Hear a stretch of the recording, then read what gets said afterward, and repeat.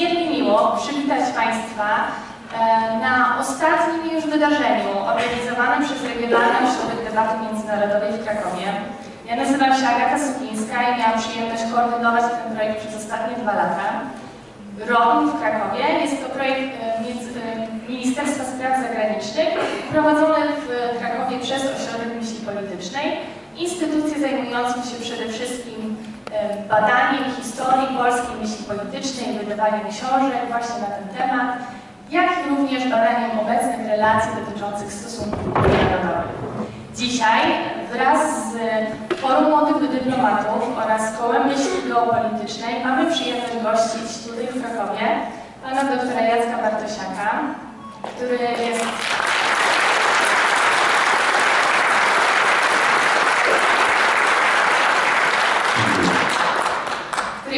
ekspertem obecnie zajmującym się sprawami geopolitycznymi, e, a na co dzień jest em, em, pracownikiem, współpracownikiem The Potomac Foundation w Waszyngtonie. E, Będziemy mieli również przyjemność gościć profesora e, Andrzeja Nowaka z Instytutu Historii Uniwersytetu Jagiellońskiego, jak również Instytutu Historii Pols- Polskiej Akademii Nauk. Tak jak już wcze- wcześniej wspomniał mój kolega, pan profesor się nieco spóźni, ale dołączy do nas najszybciej, tylko będzie mógł. Całą debatę będzie prowadził właśnie mój drogi kolega Jakub Jezierski, członek Stowarzyszenia Forum Młodych Dyplomatów, e, historyk i wielki pasjonata geopolityki.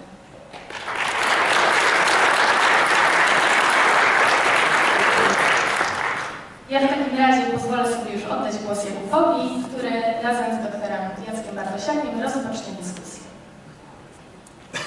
Dziękuję bardzo. E, Szanowni Państwo, tak jak zapowiadałem wcześniej, e, rozpoczniemy zgodnie z życzeniem Pana Profesora, e, ponieważ przekazał mi takie życzenie już jakiś czas temu, żeby mniej więcej o tej porze Pan Doktor rozpoczął takim geopolitycznym expose, wstępem, w oczekiwaniu oczywiście na Pana Profesora i y, najbliższy kwadrans, może 20 minut, chciałbym żebyśmy poświęcili na refleksję nad naukowością geopolityki, bo w pewnym sensie w odpowiedzi na e, toczącą się debatę od już właściwie paru dobrych miesięcy, która rozpala umysły rozmaitych tygodników, czasopism, także umysły na uniwersytetach, a także zmusza to oczywiście do podjęcia tej rękawicy naukowej, do podjęcia tej ciekawej dyskusji akademickiej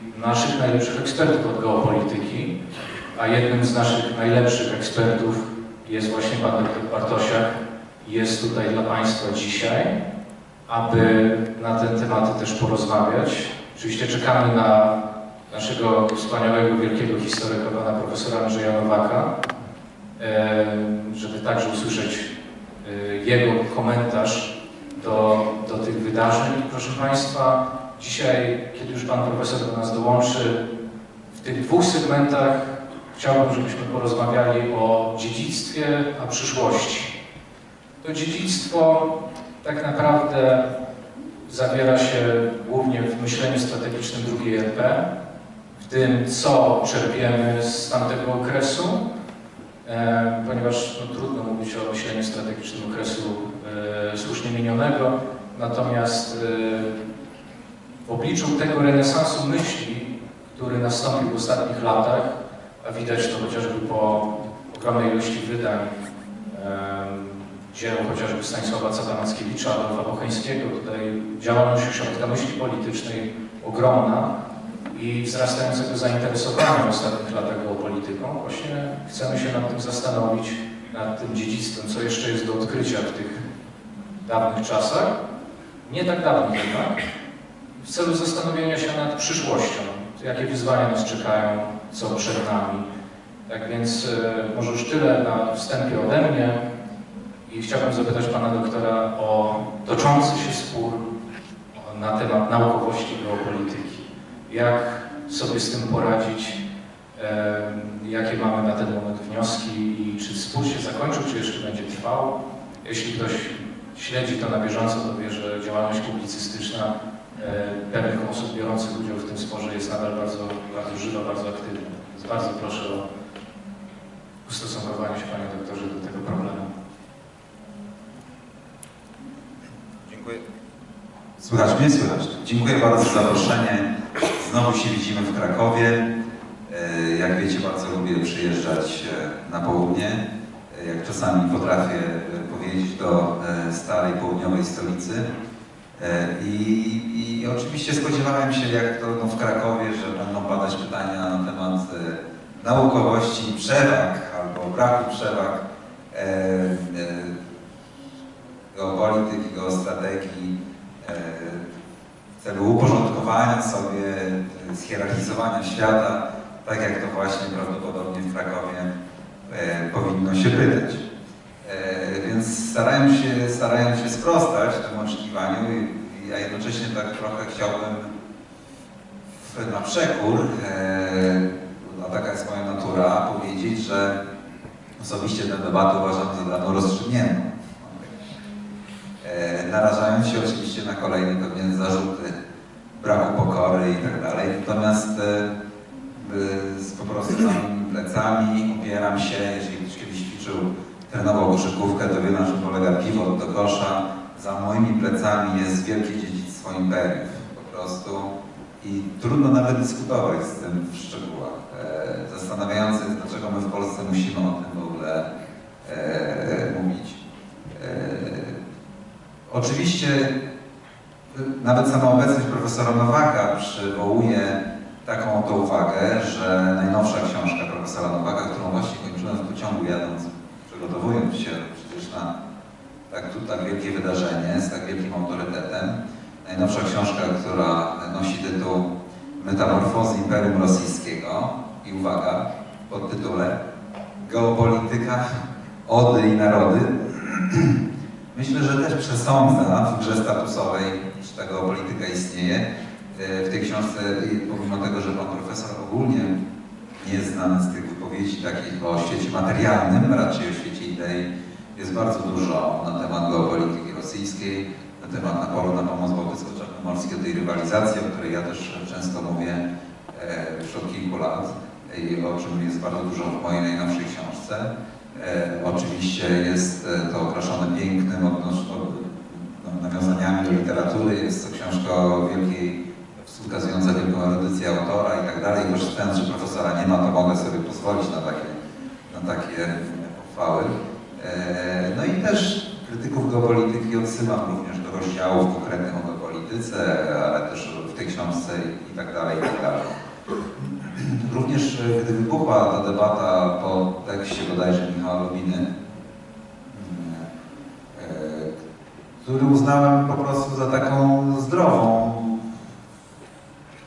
polemikę, no, na zasadzie, żebyśmy sobie wszyscy podyskutowali, wszystkim to dobrze zrobi, tak? I e, rzeczywiście trochę tych tekstów powstało, czasami zupełnie e, w poprzek, albo nierozumiejące, albo wypaczające, albo instrumentalne, dlatego że się pojawiła pewna gra statusowa, czyli jak gdyby jeżeli my tutaj, no zakładam, że większość z Państwa obserwuje działalność, e, pewnie moją od kilku lat e, no to zgodzicie się z tym, że chodziło o przekaz jakiejś autentyczności, tak? E, Nie zawsze można było mieć rację, ale chodziło o jakiś przekaz autentyczności, opisu świata wynikający z potrzeby wprowadzenia tego do języka naszego. No tyle bardzo dużo osób jednak gra grę statusową, chodzi o to, żeby mieć przewagi nad innymi, prawda? I, i myślę, że w tej debacie o krytykującą, krytykującej geopolitykę bardzo dużo było w tej grze, e, e, w tej, w tej debacie, w tej debacie dużo takich właśnie statusowych historii. E, Co z kolei zwróciło ripostę tych, którzy bronili geopolityki. Z, z, to było bardzo chyba akurat zdrowe, z powołaniem na bardzo wiele wypowiedzi naprawdę decydentów świata, którzy współcześnie podejmują decyzje, tak? E, Przedstawicieli administracji amerykańskiej, tak? przedstawicieli administracji, e, nawet Unii Europejskiej, nawet Donald Tusk mówił językiem geopolityki na swoim wystąpieniu głośnym. No można by to naprawdę mnożyć e, i to myślę, że było bardzo ciekawe z, tego punktu widzenia. Chyba w, w dobie obecnych przemian w, tej, w, tym, w tym etapie tranzycji Ładu Światowego mamy wątpliwości, Y, Co do tego, poza tym oczywiście debata jest bardzo słuszna, należy, zawsze każda polemika jest e, płodna w tym sensie, że jej po prostu w Polsce w różnych dziedzinach nauki bardzo, ale to bardzo brakuje. Są zastane prawdy, są e, konieczne zawsze rewolucje w pewnych dziedzinach, zmiana poglądów, kwestionowanie wszystkiego. Dlatego bardzo wielu dziedzinach w Polsce brakuje, co petryfikuje czasami bardzo niedobre układy, można powiedzieć, w tym rozumieniu i nie posuwa myśli, nie posuwa innowacji, nie posuwa myśli, nas nie posuwa do przodu. Jakże często to występuje w naszych życiach. Jestem pewien, że się Państwo ze mną zgodzicie, że bardzo wiele jest takich rzeczy e, i to wynika właśnie z braku zdolności statusowego kwestionowania, właśnie w wyniku tego, że ktoś zajmuje wyższy status w jakiejś tam relacji spetryfikowanej, tak? I e, może chociaż to będzie taki przyczynek, żebyśmy sobie zadawali te pytania. Ale natomiast e, najbardziej bolesnym zjawiskiem, które od wielu lat obserwuję, i to był jeden z powodów, dla których mówiłem publicznie o geopolityce i było to naprawdę bolesne doświadczenia PRL-u, które dalej rzutują na perspektywę patrzenia y, Polaków, w tym y, części elit intelektualnych. Obawa myślenia rozmachem, obawa myślenia tak, jak myślą imperia. A my byliśmy imperium handlowym, mieliśmy swoje interesy. Myślę, że dzisiaj w części o polityce II Rzeczypospolitej będziemy mówili o przestrzeniach pomostu bałtycko-czarnomorskiego i sobie zdefiniujemy, jak myślały II Rzeczypospolitej, które pamiętały, miały jeszcze jakąś tam ciągłość dzie- dziedzictwa pomostu bałtycko-czarnomorskiego, jak to kiedyś powiedziałem, bo się rodzili w tych dworkach szlacheckich, przede wszystkim na pomoście bałtycko-czarnomorskim i mają mieli to w DNA jeszcze wpisane, rozumienie tej przestrzeni. E, czego nam w PRL-u oczywiście zabrakło. E, wiemy, co się działo z elitami, wiemy, co przyniosła II wojna światowa. I trzecia Rzeczpospolita nie wydobyła, nie wydobyła tego z różnych powodów, o których pewnie tu nie ma miejsca na, na, na światło dzienne, tego, tej potrzeby myślenia wielką przestrzenią.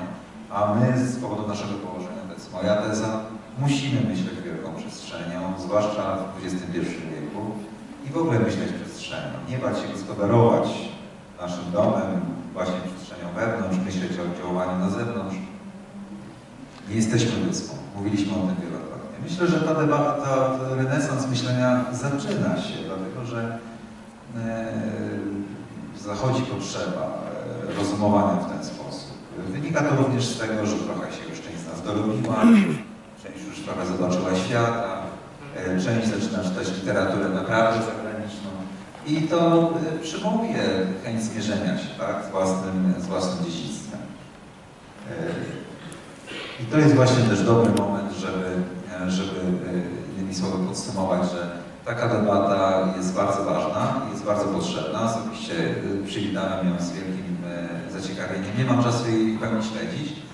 I coś, co, co kruszy e, pewne utrwalone, takie wynikające z gry statusowej prawidła, potrafi być bardzo ozdrowieńcze, tak, i uzdrawiające. Więc może tak bym to, to bardzo dziękuję za ten wstęp i proszę Państwa, powitajmy brawami naszego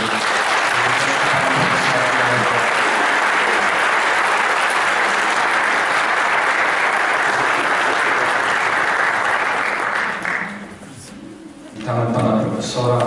Teraz już możemy rozpocząć naszą, naszą debatę. Dziękuję Panu Doktorowi za e, to wprowadzenie odnośnie sporu wokół geopolityki. Przy okazji może być pierwsze pytanie właśnie do Pana Profesora. Bardzo chcielibyśmy usłyszeć, co Pan Profesor ma do powiedzenia na temat toczącego się sporu wo- wokół naukowości geopolityki jako takiej. E, Szczególnie w ostatnich miesiącach są liczne teksty publicystyczne w tym zakresie. Była debata pana doktora Lubiny z panem doktorem Sykulskim, zresztą niedawno tutaj na Uniwersytecie Jagiellońskim. E, Przytacza się bardzo interesujący spór o naukowość geopolityki jako takiej i o to, o to chciałbym pana profesora zapytać. O stosunek pana profesora do tego problemu. Dobry wieczór Państwu. Ogromnie przepraszam za moje spóźnienie. Sygnalizowałem z góry organizatorom. Ech, Nie daj Boże, żeby geopolityka była nauką. E, Historia jako nauka e, jest w stanie likwidacji, podobnie jak cała humanistyka. Dzięki reformie premiera Gowina ten proces się dokonywuje właśnie. Z tego powodu nie namawiałbym jakiejkolwiek sztuki e, do tego, by zapisywała się do nauk w stanie likwidacji. A zatem zupełnie serio, zupełnie poważnie, bez żadnych żartów mówię, że przydawanie pozorów jakiejś naukowości według kryteriów, które mieszczą się na liście szanghajskiej, wymagają punktów publikacji w odpowiednich pismach, byłoby nieszczęściem, znaczy jest nieszczęściem dla każdej dziedziny wiedzy, wiedzy innej niż matematyka, innej niż chemia. E, Może jeszcze kilka da się tutaj wymienić, ale na pewno geopolityki obok matematyki bym nie stawiał. A więc krótko odpowiem, mam nadzieję, że geopolityka nie ma nic wspólnego z.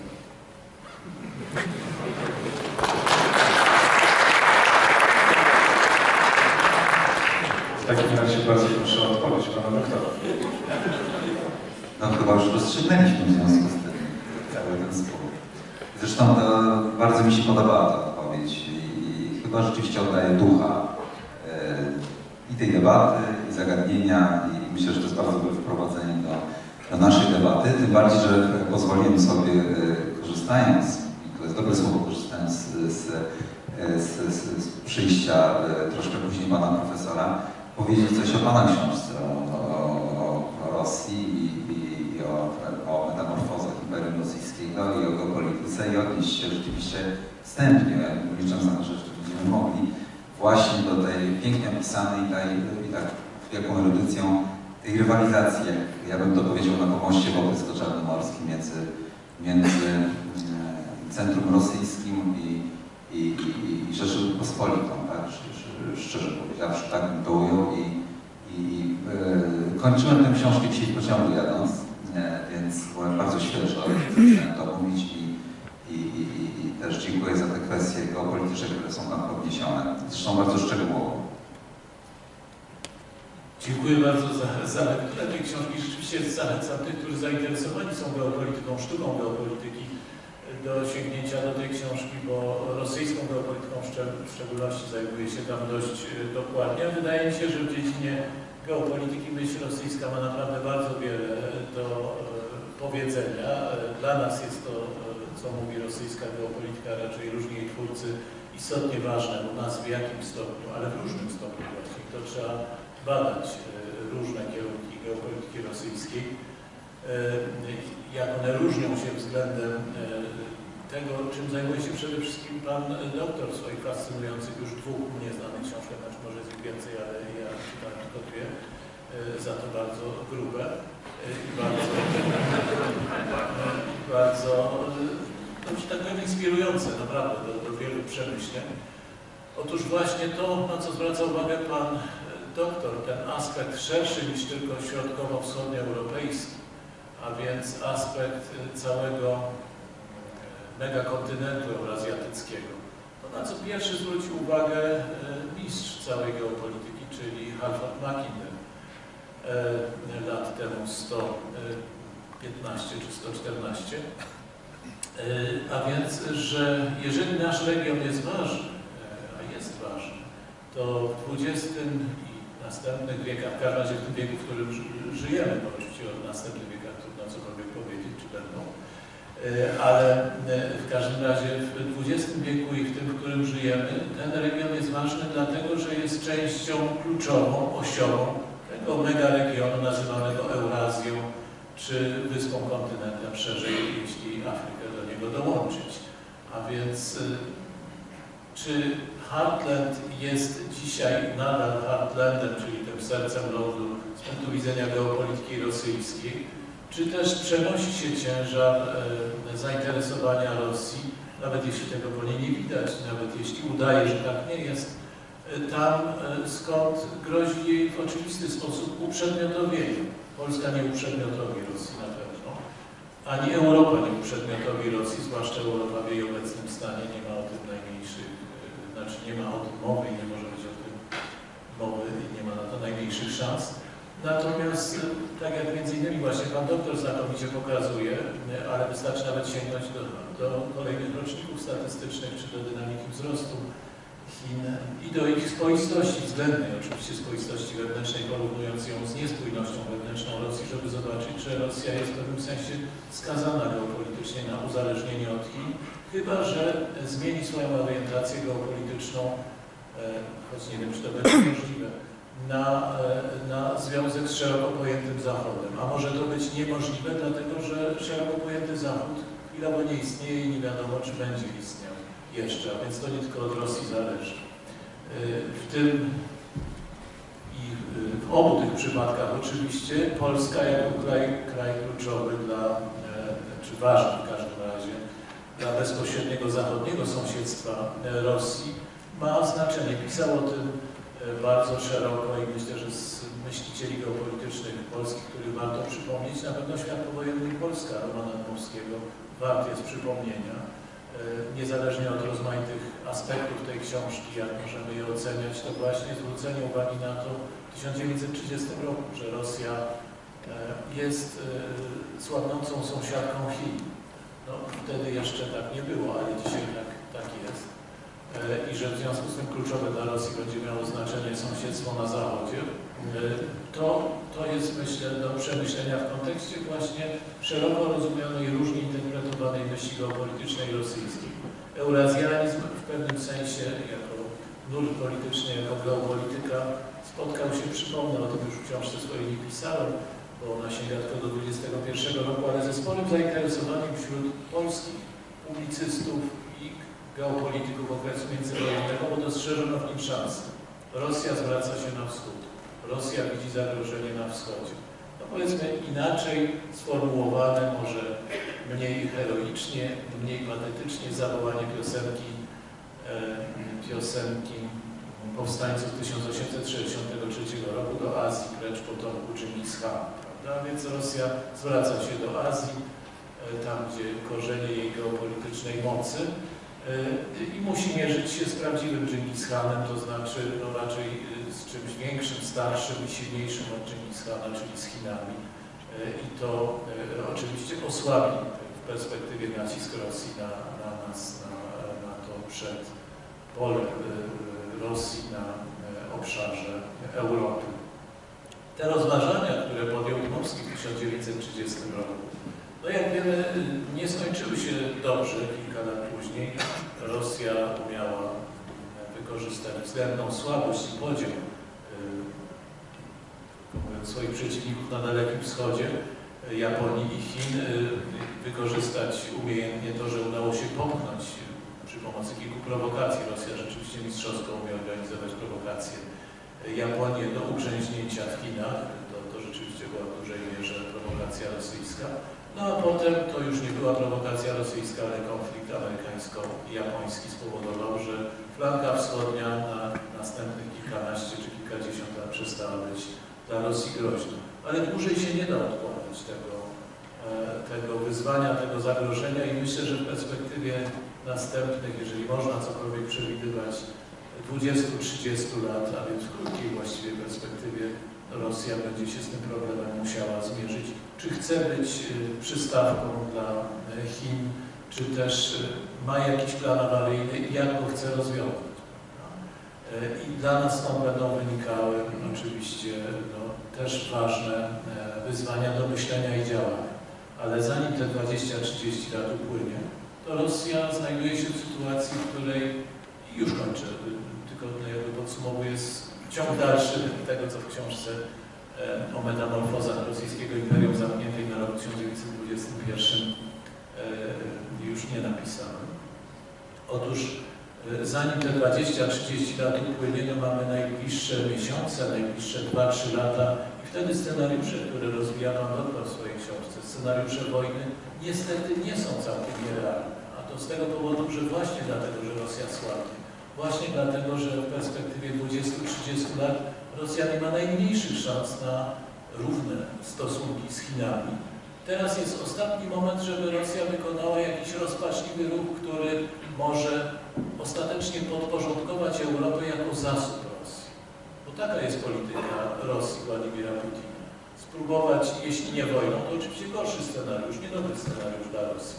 Lepszy jest ten, który się realizuje przez podziały wewnętrzne, przez manipulację, przez pierwszą fazę e, e, wojny, tak jak to opisują e, generał e, Bogdanow i pułkownik Czekinow w swojej koncepcji wojny hybrydowej. Ta pierwsza część wojny jest ważna, ta kiedy nie, nie, nie są uruchomione czołgi, tylko właśnie dzieje się to, co się dzieje w tej chwili w Europie, czyli rozkład, e, konflikty wzajemne, e, zanik jakiejkolwiek e, współpracy.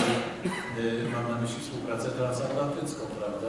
Kiedy prezydent Francji ogłasza, że jeśli armia europejska powstanie, to będzie potrzebna do obrony przed Stanami Zjednoczonymi, no to to właśnie jest to, o co chodzi i co powoduje, że Rosja ma jeszcze przez krótki czas szansę podporządkować sobie Europę, podporządkować właśnie taki sposób. Ale naturalnie ten drugi sposób militarny też może być w pewnym momencie jako siła nacisku kuszący. Oczywiście nacisku, który nie może przerodzić się w totalną konfrontację z Europą, wspartą ewentualnie mimo wszystko przez Stany Zjednoczone, bo taką konfrontację Rosja na pewno przegra i z tego sobie każdy w Rosji zdaje sprawę. Ale ograniczone uderzenie na któregoś z członków y, y, Paktu Północnoatlantyckiego. Pytanie, czy, czy Polska z bazą amerykańską będzie całkowicie bezpieczna? No to jest pytanie otwarte do, do dyskusji. Przepraszam, że za długo mówiłem, ale poniekąd Pan mnie wyrwał takim ogólnym bardzo pytaniem, a co tam, co tam dalej w geopolityce wschodniej? Dobrze, bardzo dziękuję. E, tak więc, e, Panie Profesorze, Panie Doktorze, y, no, na pewno jeszcze do przyszłości przejdziemy. W dalszej części to jest szalenie istotna część, a Pan Profesor szczególnie mi sygnalizował, że powinniśmy głównie o przyszłości rozmawiać, ale jakbyśmy na chwilę się jeszcze mogli cofnąć właśnie do dziedzictwa, do tego segmentu naszej przyszłości. E, Postaramy się krótko, ale jakbyśmy e, jakby, żeby teraz przykład, jeśli Pan Doktor mógł odnieść jakoś do tego, co było najlepsze w dziedzictwie, co było najlepsze w myśleniu strategicznym okresu II Rzeczypospolitej. Najlepsze przykłady sukcesów, może też sukcesów połowicznych, bo wiemy, że nie wszystko się udało.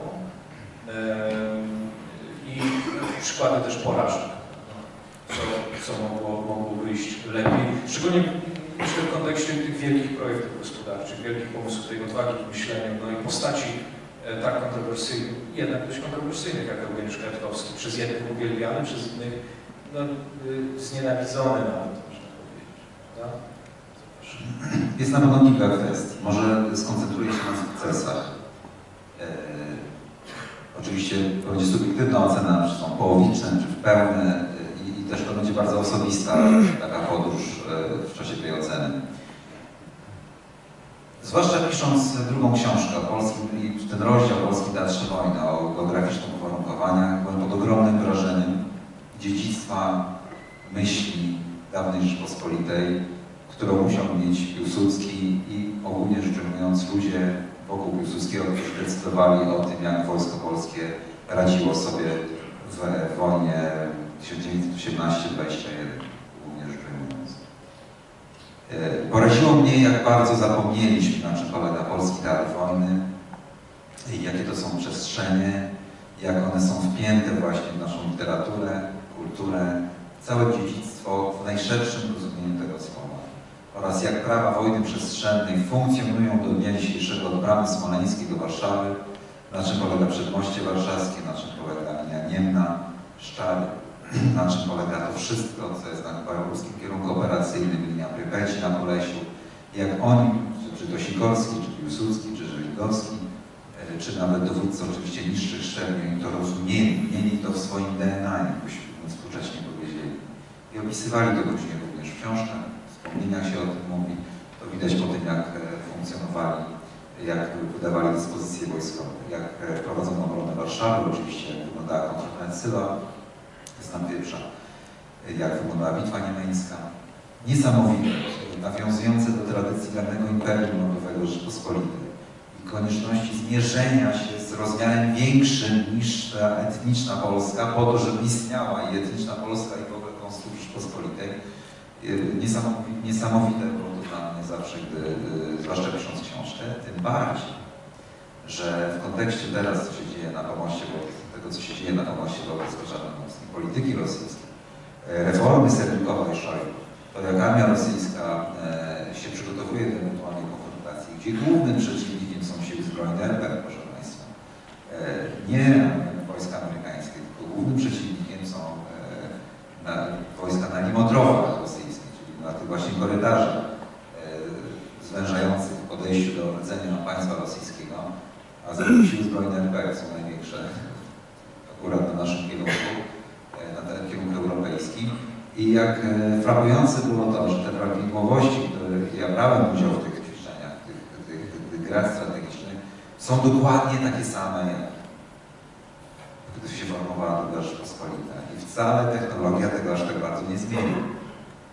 To było dla mnie e, uderzające, że musimy odnowić, od, od, odrdzewić tak, e, tę, tę wiedzę dla nas, dla naszej przestrzeni, dla naszego państwa, dla nas. Nie tylko na to zasługujemy, ale jest to wręcz konieczne.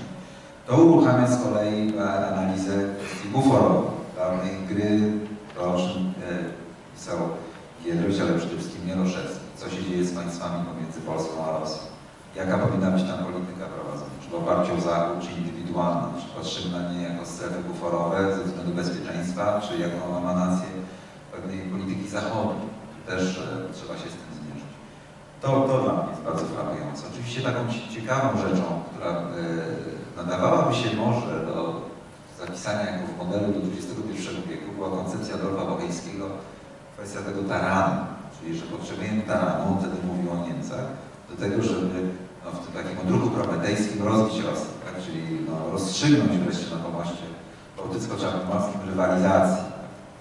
E, to oczywiście było wówczas bardzo ciekawe, e, ale szczerze powiedziawszy, zastanawiam się, co Adolf Bocheński powiedział teraz, w roku 2018, właśnie w kontekście wzrostu Chin i tarana na Rosję od drugiej strony.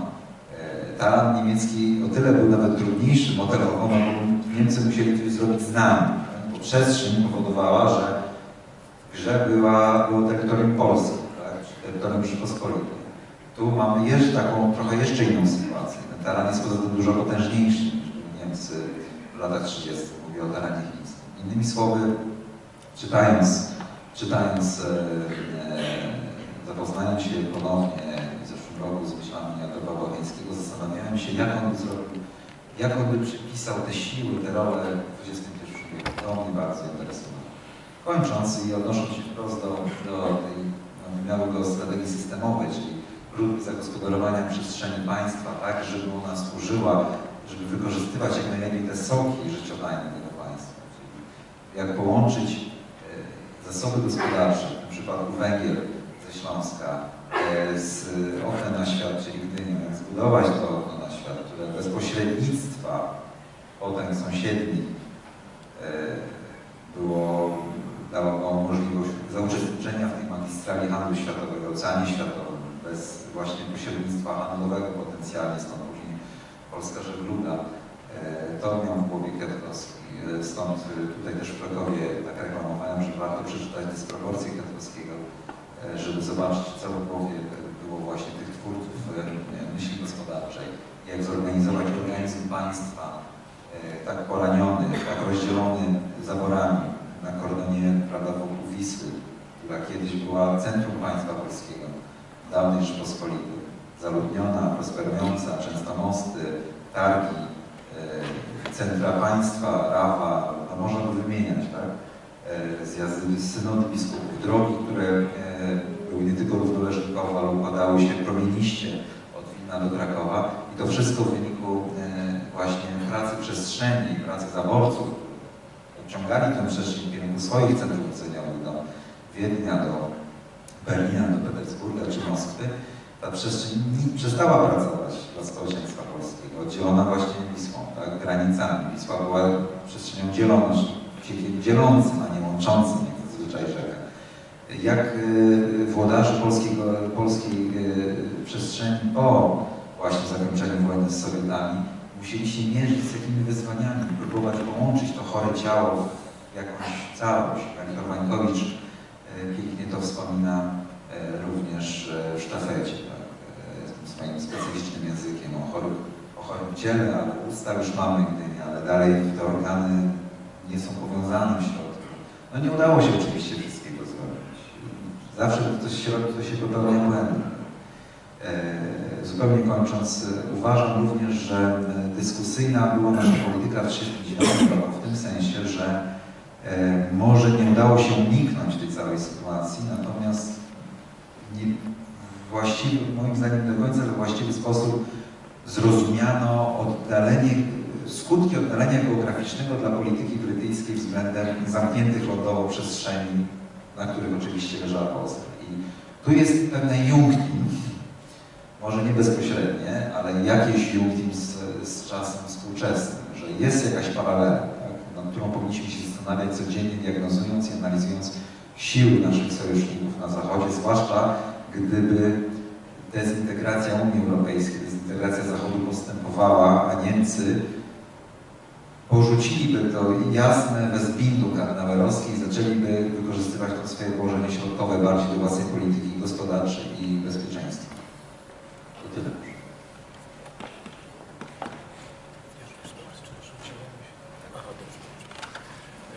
Bardzo słyszę, że mam podobne pytanie. Tak, tak. Tak się złożyło, wczoraj w Instytucie Historii PAN, e, gdzie e, pracuję, no, odby- odbyło się spotkanie naukowe, na którym wygłoszony został referat przez pewnego e, profesora z Torunia, który właściwie odpowiedział na to pytanie przez Pana postawione. Odpowiedział w sposób bardzo mocny i trochę szokujący dla uczestników. To znaczy, druga Rzeczpospolita nic nie zrobiła dobrego, nic się jej nie udało, była jedną wielką katastrofą od A do Z i starał się to udowodnić. W powierzchowny dość sposób, mnie się wydaje, co też y, w dyskusji zostało wtedy powiedziane. Y, Natomiast warto chyba zacząć odpowiedź na pytanie postawione o dorobek II Rzeczpospolitej, ten geostrategiczny. Po pierwsze od tego, o czym już powiedział Pan Doktor, to znaczy od potrzeby zszycia trzech organizmów państwowych, które były budowane dość konsekwentnie przez e,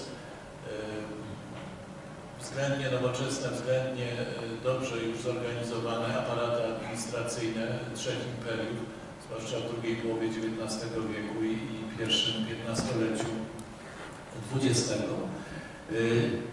To była ogromna trudność i ona została przezwyciężona w dużym stopniu. Symbolizuje to y, linia kolejowa łącząca Górny Śląsk z Gdynią i samo właśnie y, zbudowanie, decyzja o budowie portu w Gdyni, przypomnijmy, podejmowana w 1920 roku w lipcu. To znaczy bolszewicy są pod Warszawą i zapada decyzja, budujemy port w Gdyni. No w takich okolicznościach się to dokonywało. Ale żeby zbudować port w Gdyni, żeby uruchomić jakieś duże projekty, te, które automatycznie przychodzą nam na myśl. Co? Y, Czy Centralny Obrót Przemysłowy, czy y, w ogóle plan y, modernizacji kraju, rozbudowy przemysłu przygotowany wieloletni przez wicepremiera Kwiatkowskiego. Potrzebne było kilka lat bodaj spokoju gospodarczego. Polska, druga Rzeczpospolita miała takich lat w sumie w całym dwudziestoleciu sześć najwyżej. Teraz wyobraźmy sobie, bo często porównuje się druga Rzeczpospolita do trzeciej. No, druga Rzeczpospolita upadła haniebnie, no, nawiązuję jakby do retoryki, z którą się spotkałem wczoraj. E, A więc to dowodzi, że właśnie nic jej się nie udało, niewielki jest jej dorobek. E, No a trzecia widzimy jak, e, no rzeczywiście wy- wystarczy spojrzeć, infrastruktura w dużym stopniu jest budowana. Pytanie, czy w optymalny sposób z punktu widzenia e, no nie potrzeb państwa tutaj, państwa osób siedzących, tylko państwa polskiego przez te 30 lat, czy była w optymalny sposób budowana. Ale wtedy tych lat gospodarczo było sześć, bo była najpierw wojna rzeczywista, potem wojna gospodarcza wy- wypowiedziana przez Niemcy, które były jeszcze ważniejszym partnerem, trudniejszym w okresie międzywojennym niż po II wojnie światowej, czy współcześnie.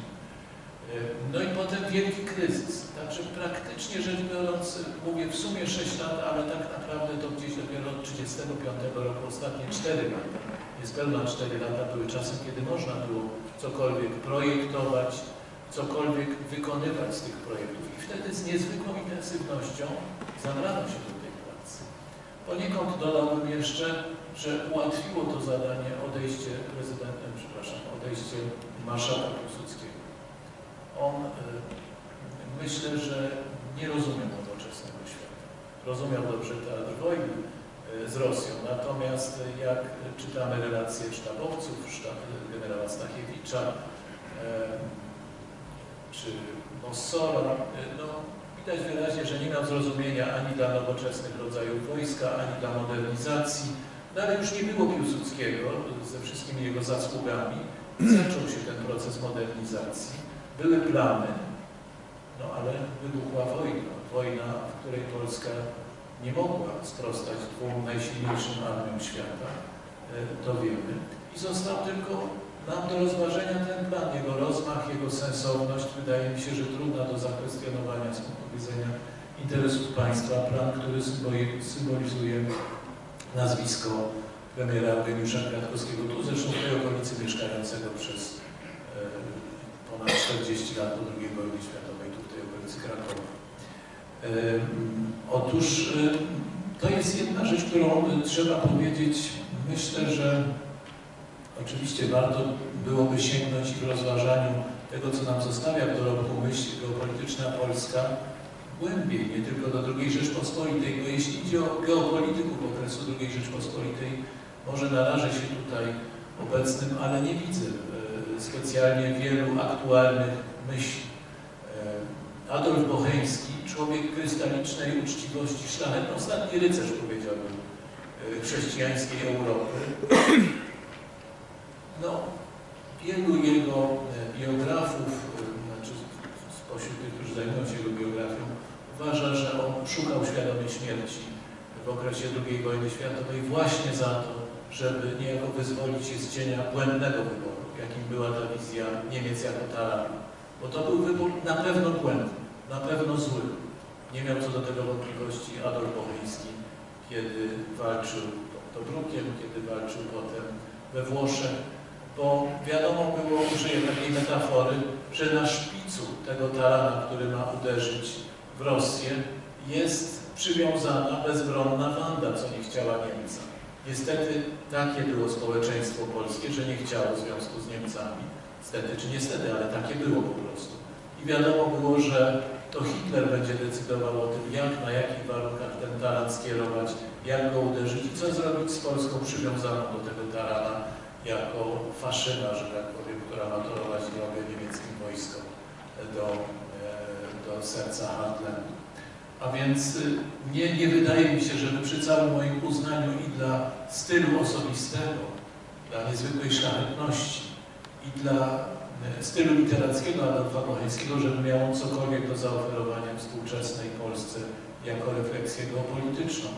E, Podobnie myślę o Mackiewiczu, mówię o Stanisławie Zacie Mackiewiczu, podobnie myślę o no właściwie o większości tych, którzy zajmowali się problemami geopolitycznymi II Rzeczpospolitej. E, Czy to zwłaszcza o zupełnie mylącym epoki e, Władysławie Studnickim, któremu wydawało się, że ma do czynienia z cesarzem Wilhelmem II, kiedy miał do czynienia z NSDAP i Adolfem Hitlerem. E, Oczywiście proponowałbym raczej sięgnąć do dorobku myśli XIX-wiecznej, może dlatego, że jest mi bliższa i z niej ośmielę się zaproponować wydanie, nikt tego chyba nie zrobił do tej pory, artykułów geopolitycznych Maurycego Mochnackiego. E, Wznowiona była w latach 80. pod redakcją profesora Kieniewicza najważniejsza książka polskiego romantyzmu, polityczna książka polskiego romantyzmu, czyli Powstanie Narodu Polskiego. Ale, ale nie zostały chyba wznowione, o ile się nie mylę, osobno w każdym razie, artykuły z y, Pamiętnika Emigracji Polskiej pisane w latach 1832-33, które analizują w taki sam sposób jak Mackinder powiedziałbym, zagadnienia, tylko że 70 lat wcześniej. Zagadnienia, do których jeszcze 110 lat po Mackinderze wrócił oczywiście w nowszy y, sposób pan doktor w swojej książce. Dlatego jeśli szukać pra ojca y, nowoczesnego myślenia geopolitycznego, y, wartego wciąż odkurzenia w XXI wieku, to byłby dla mnie, może to kontrowersyjna teza, ktoś tak stary jak, y, jak Maurycy Mochnacki, który umarł w roku 1834. Może tu y, przestanę, bo już i tak dość herezji na Dobrze, bardzo panu profesorowi dziękuję. E, ale pokrótce jeszcze vocem y, tych rozważań nad tym, co się udało, co się nie udało w II Rzeczpospolitej, ponieważ e, te szczególnie wczorajsze, tak jak profesor przytoczył wypowiedzi, że absolutnie nic się nie udało wedle tego, em, tego eksperta. E, Pan profesor dzisiaj przyjechał z Warszawy, pan doktor dzisiaj przyjechał z Warszawy do Krakowa, ale to druga RP zbudowała bezpośrednie połączenie kolejowe w latach 30., z tego co pamiętam, w roku 34. Bezpośrednie połączenie Warszawa-Poznań, bodaj w roku 22 lub 23. Wiele inwestycji było rozpoczynanych jeszcze w warunkach wojny polsko-bolszewickiej, tak pokazuje e, odwagę w myśleniu ówczesnych elit polskich. Więc y, oczywiście niewiele wiele rzeczy się nie udało, ale jest też ogromna lista jednak sukcesów. Bardzo proszę, przepraszam bardzo, że się jeszcze wyrywam do głosu, ale tak, to bardzo ważny wątek i, i niestety on mi umknął w odpowiedzi, a chciałem do niego nawiązać po słowach pana doktora, który zaczął ten temat zasadniczy e, e, w swojej e, odpowiedzi e, uwypuklać, mianowicie samo przekonanie Józefa Piłsudskiego i Romana Dmowskiego, obu tych polityków w jednym, e, w jednym punkcie było całkowicie zgodne że Polska musi być duża, e, żeby nie powiedzieć mocniej wielka, żeby w ogóle się ostać.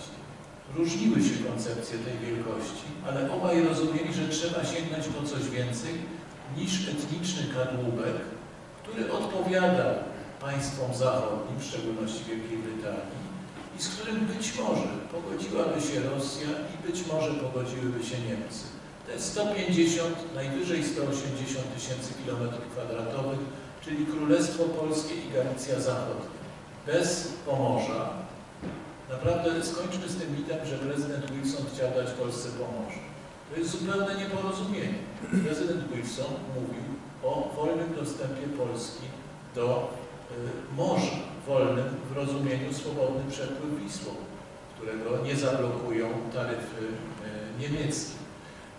I cała polityka prezydenta Wilsona dowodzi, że tak rozumiał swój trzynasty punkt. A więc miała być Polska malutka, która nie będzie przeszkadzała nikomu. Ale taka Polska może być tylko buforem albo rosyjskim, albo niemieckim ostatecznie, niczym więcej. No i czy może rozwinąć swój potencjał nawet jako bufor niemiecki lub rosyjski, Polska 180 tysięcy, licząca 180 tysięcy kilometrów kwadratowych. Otóż tak jest. Polska sprowadziła na siebie ogromny kłopot nierozwiązywany mniejszości słowiańskich przez no, prawda, ostateczny wynik wojny z bolszewikami, yy, których nie dało się zaspokoić. Mówi o tym ostatnia książka profesora Mędrzeckiego, który na pewno nie należy do jakichś entuzjastów polityki wschodniej Józefa Piłsudskiego, y, ale opisując nie bezkrytycznie, a raczej krytycznie politykę drugiej RP wobec mniejszości słowiańskich na Kresach, stwierdza jednocześnie, że nie było żadnej możliwości zaspokojenia tych mniejszości, ponieważ one chciały swojego państwa. Tam, gdzie było państwo polskie, część. Y, A zatem żadna polityka ustępstw nie mogła całkowicie usunąć tego, e, tego dylematu.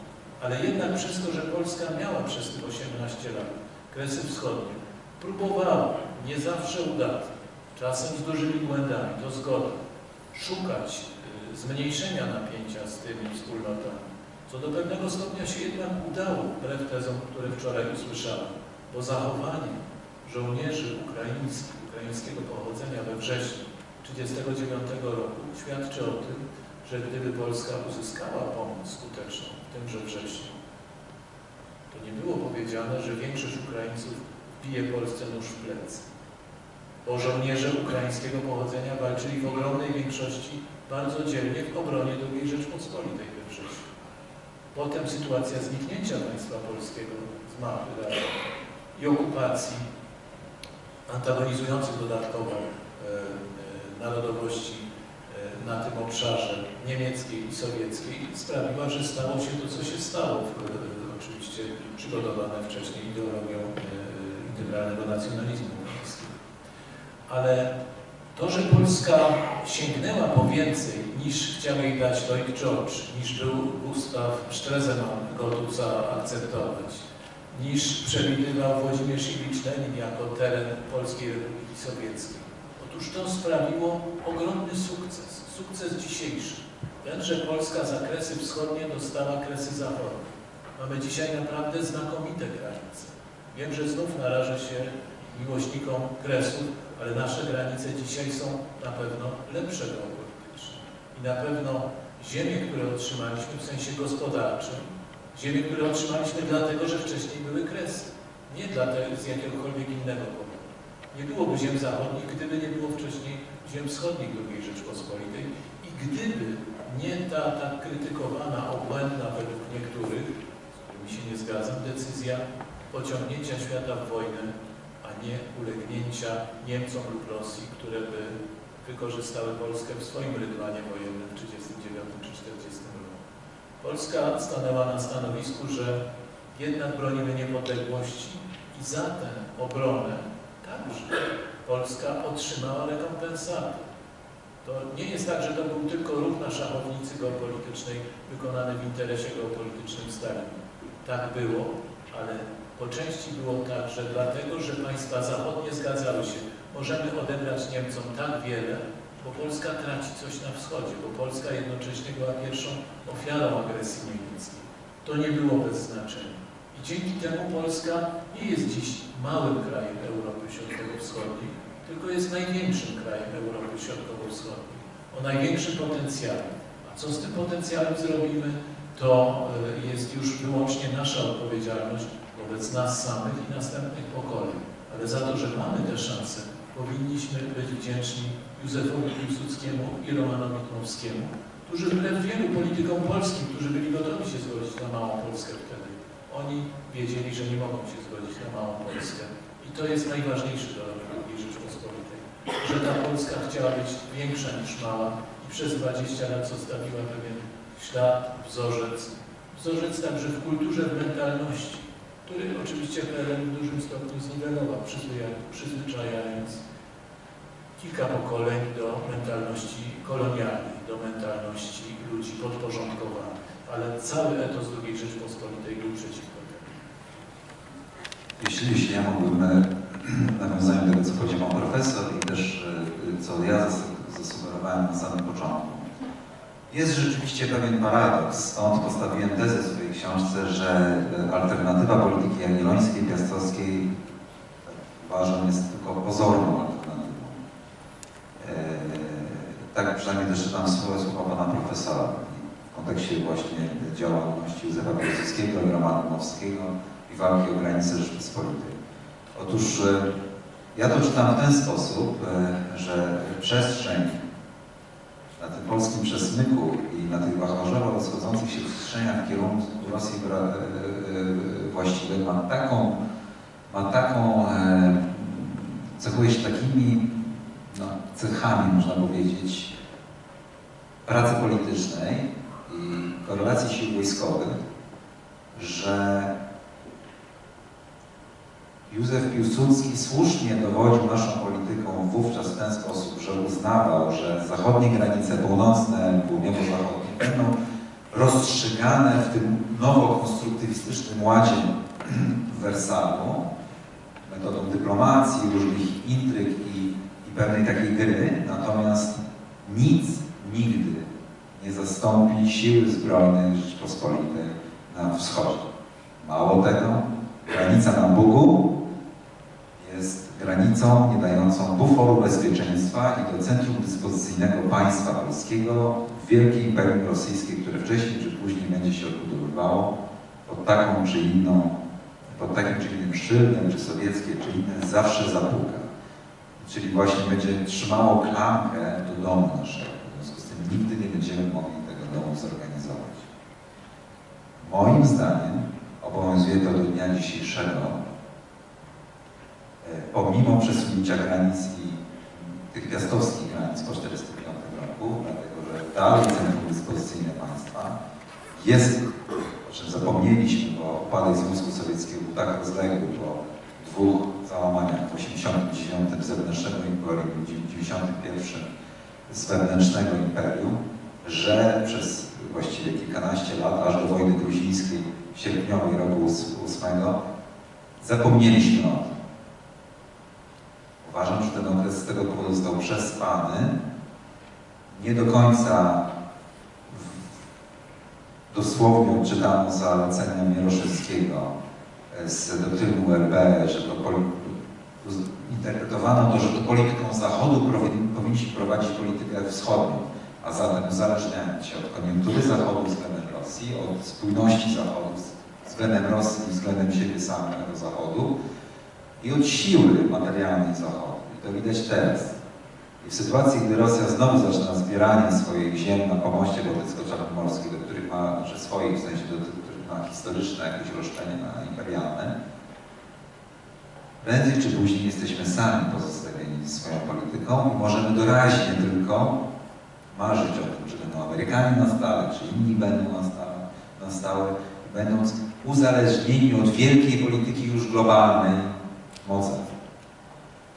Bo właśnie nie mamy obszaru buforowego na wschodzie i to o tym przesądza po prostu geografia Europy Środkowo-Wschodniej, wachlarzowo rozchodzących się przestrzeni. I e, uważam, że to jest lekcja nieodrobiona w III Rzeczpospolitej w wyniku właśnie adopcji strategicznej przez Zachód i uwierzenia, że się skończyła historia. E, uważam, że jak najszybciej musimy zmierzyć się z koniecznością nowej polityki na wschodzie, całościowo pomyślanej.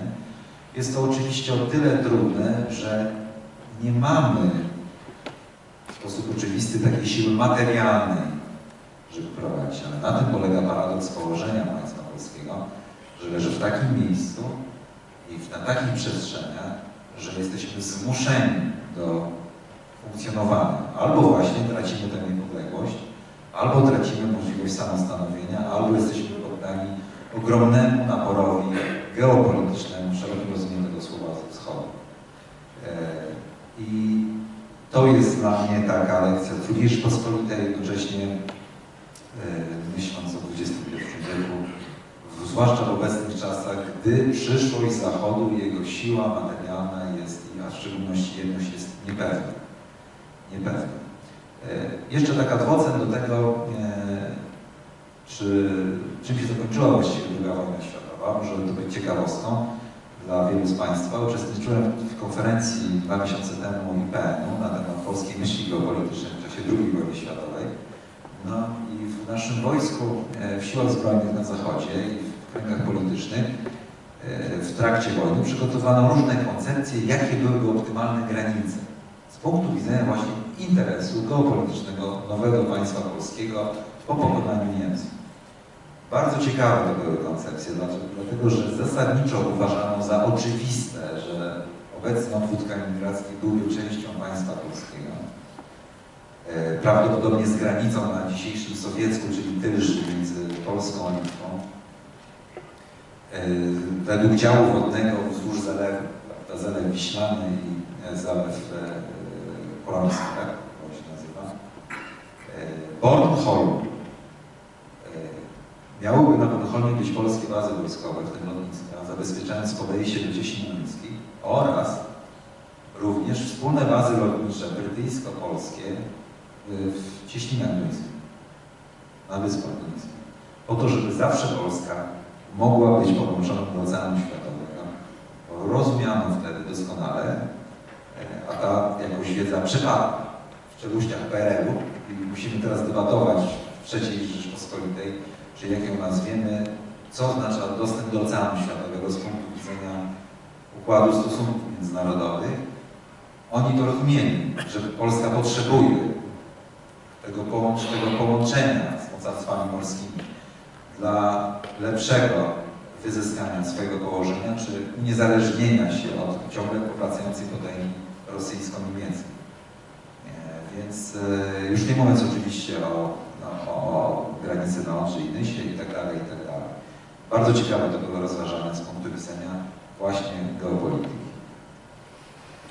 Dziękuję bardzo. Właściwie niemal wszystkie wątki, o które chciałem zapytać, zostały już poruszone, jeśli chodzi o przeszłość, o dziedzictwo. Tak więc bardzo za to dziękuję.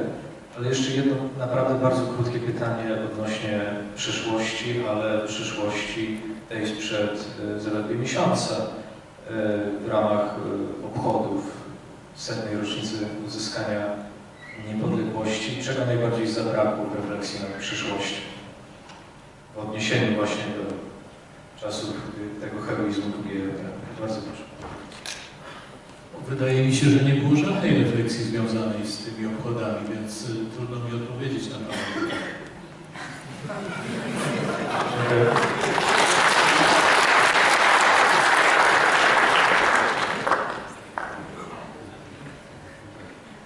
No i cóż ja mam teraz powiedzieć?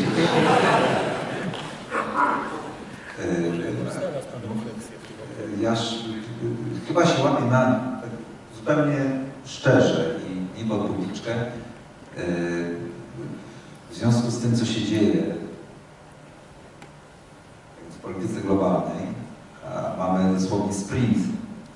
Jestem tak w tym, e, e, mam powiedziałbym, poznawczym, pułapce poznawczej tak zagłębiony, że nie zwracałem ściśle uwagi na, na, na naszą refleksję na ten temat, tak? E, Dlatego, że rzeczywiście 100 lat po e, końcu I wojny światowej e, jesteśmy w punkcie zwrotnym historii. I, każdy dzień przynosi tutaj naprawdę nowe wydarzenia, nowe deklaracje i staram się jakoś próbować mierzyć się z tym, co to może oznaczać dla naszej przyszłości. Jestem w nią rzeczywiście zanurzony, tak, na, na, na tyle, ile umiem. Dlatego, że uważam, że będzie miała bezpośrednie konsekwencje dla nas, dla naszego losu. Stąd zresztą miałem taką motywację, żeby tę książkę napisać. Yy, I te wydarzenia się po prostu dzieją.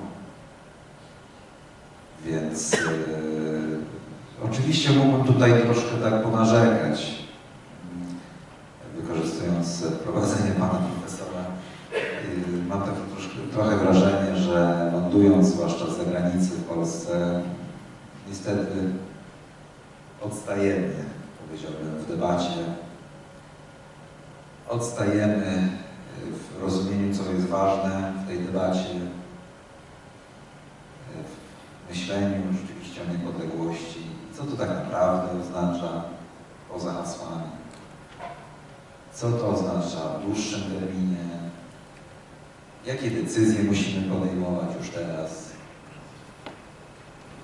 Yy, Nie bez przyczyny tak wyraźnie powiedziałem, że tak bardzo brakuje mi myślenia, myślenia o, o naszych e, wschodnich sąsiadach i o tych przestrzeniach, również z punktu widzenia modernizacji wojskowej i koncepcji operacyjnej dla sił zbrojnych RP. Po co jest to wojsko i do, do czego ma służyć? Na jaki teatr wojenny? Przyznam, że martwi mnie defensywne nastawienie w naszym myśleniu geopolitycznym. Yy, Zrozumiały oczywiście strach przed Rosją z punktu widzenia tego, że przez ostatnie 300 lat wisiała nad naszym losem, często nasze indywidualne losy niszcząc, ścierając z pyłu. Ale historia toczy się, życie toczy się dalej i musimy znaleźć w sobie siłę, żeby spojrzeć poza ciało Rosji, inne czynniki mają ogromne znaczenie, wpływają na naszych sojuszników i partnerów i tak dalej, i tak dalej. Oczywiście tego brakuje, tylko to jest no, jak gdyby codzienność. E, codzienność. Może to tyle powiem. Dziękuję bardzo. Zawsze też pytanie, czy kilka spotów z okazji rocznicy zastąpi nam myśl Mochnackiego, Romera i innych wielkich z przyszłości, prawda? Czy Mel Gibson w jednym ze spotów wystarczy? Uważam, że to też jest potrzebne. Oczywiście tak. Tylko właśnie e, to zastanawia ten jeszcze renesans myśli e, geopolitycznej, bo ile elity z tego można e, zrozumieć, nie są gotowe, nie są przygotowane, nie są intelektualnie być może jeszcze gotowe do pogłębionej refleksji, no ale od kilku lat spotkania tak jak to, takie debaty wskazują, że zainteresowanie ludzi, zainteresowanie można powiedzieć różnorodnie w narodzie wzrasta. Ludzie chcą wracać do tych klasycznych pozycji literatury, czy też też nowych książek i zastanawiać się nad mm, pozycją Polski y, na mapie, co to dla nas oznacza. Tu bym chciał przejść już do przyszłości, do zagrożeń związanych z naszą pozycją w Europie, do tego, co nam najbardziej zagraża i co stwarza dla nas największe szanse w kontekście kryzysów, wielu kryzysów, które się toczą nie tylko za wschodnią granicą, ale kryzys projektu europejskiego, no i koncepcji, wielkiej koncepcji Trójmorza, e, deklaracje amerykańskie z jednej strony, z drugiej strony propozycje chińskie, nowy jedwabny szlak, teraz już nazywane nieco inaczej. E, Co nas czeka w przyszłości, naprawdę, co stwarza największe zagrożenie? Bardzo proszę Pan Profesor. Dziękuję bardzo. No, oczywiście w sprawach e, przyszłości e, najłatwiej odpowiedzieć, że wszystko będzie inaczej niż sobie wyobrażamy i niż tutaj powiemy. Właściwie jestem tego pewien. E, e, Natomiast jeżeli już mamy e, wdawać się w dywagację o przyszłości, to abstrahując od takich wydarzeń jak uderzenie jakiegoś meteorytu, którego jeszcze nie dostrzegli astronomowie, czy inna klęska żywiołowa, która rozwiąże nasze dylematy, mm, to y, sądzę, że rzeczywiście tak jak Pan to w swoim pytaniu nakreślił, jak przede wszystkim Pan doktor w swoich, y, w swoich książkach, szczególnie w tej ostatniej, wprowadza nas w to zagadnienie, trzeba spojrzeć na, na, na nowo, na, na, na globus, że tak powiem, i nasze na nim umiejscowienie. Y, I tutaj właściwie wyjścia wobec tej nowości sytuacji wciąż jednak mamy te same, ograniczone do prostej alternatywy. Podległość albo niepodległość. Podległość w tym przypadku oznacza e, e, zdanie się na decyzję, na oparcie o e, strategię budowania związków niemiecko-chińskich. Tak jak to zresztą Pan doktor wywodzi, więc nie chcę rozwijać tego tematu. Pan e, zrobił to, czy już zrobił to po prostu e, e, dokładnie. E, Ale jest taka pokusa, że no, no Berlin powinien kierować polityką e, europejską i polską także i że nawet jeśli to nie będzie w 100% zgodne z naszą e, racją stanu, z e, infrastrukturą, po co nam centralny port komunikacyjny, skoro mamy w Berlinie, prawda, no, to jest jakieś myślenie w pewnym sensie w kategoriach bezpieczeństwa, swoiście rozumianego.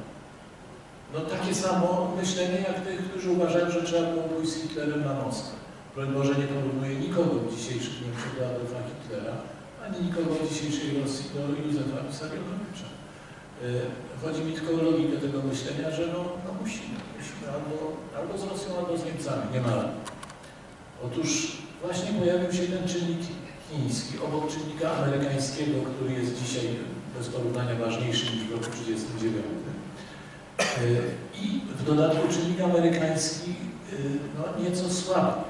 Relatywnie słabnie. Oczywiście Ameryka jest mocarstwem numer jeden, y, w sensie militarnym na pewno y, absolutnie największą potęgą, ale no, nie jest bardzo y, prawdopodobnym trendem, tak bym powiedział, ażeby Ameryka utrzymała niezagrożoną tę pozycję w dłuższej perspektywie czasu. Ale jest jak jest, więc możemy zredukować, tak jak to czynią nasi dzisiejsi politycy. Pan użył określenia elita, ja bym powiedział elita polityczna. To jest elita polityczna, ci, którzy rządzą Polską lub są w tej chwili w opozycji.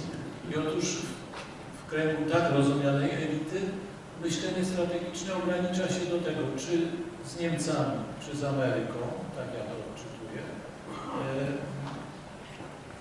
No jest jeszcze trzecia opcja, która opiera się na pewnym fantazmacie, że myślenie w kategoriach czy z Niemcami, czy- z Ameryką jest nieaktualne, ponieważ jest wizja europejskich wartości, z którymi trzeba być stowarzyszonymi.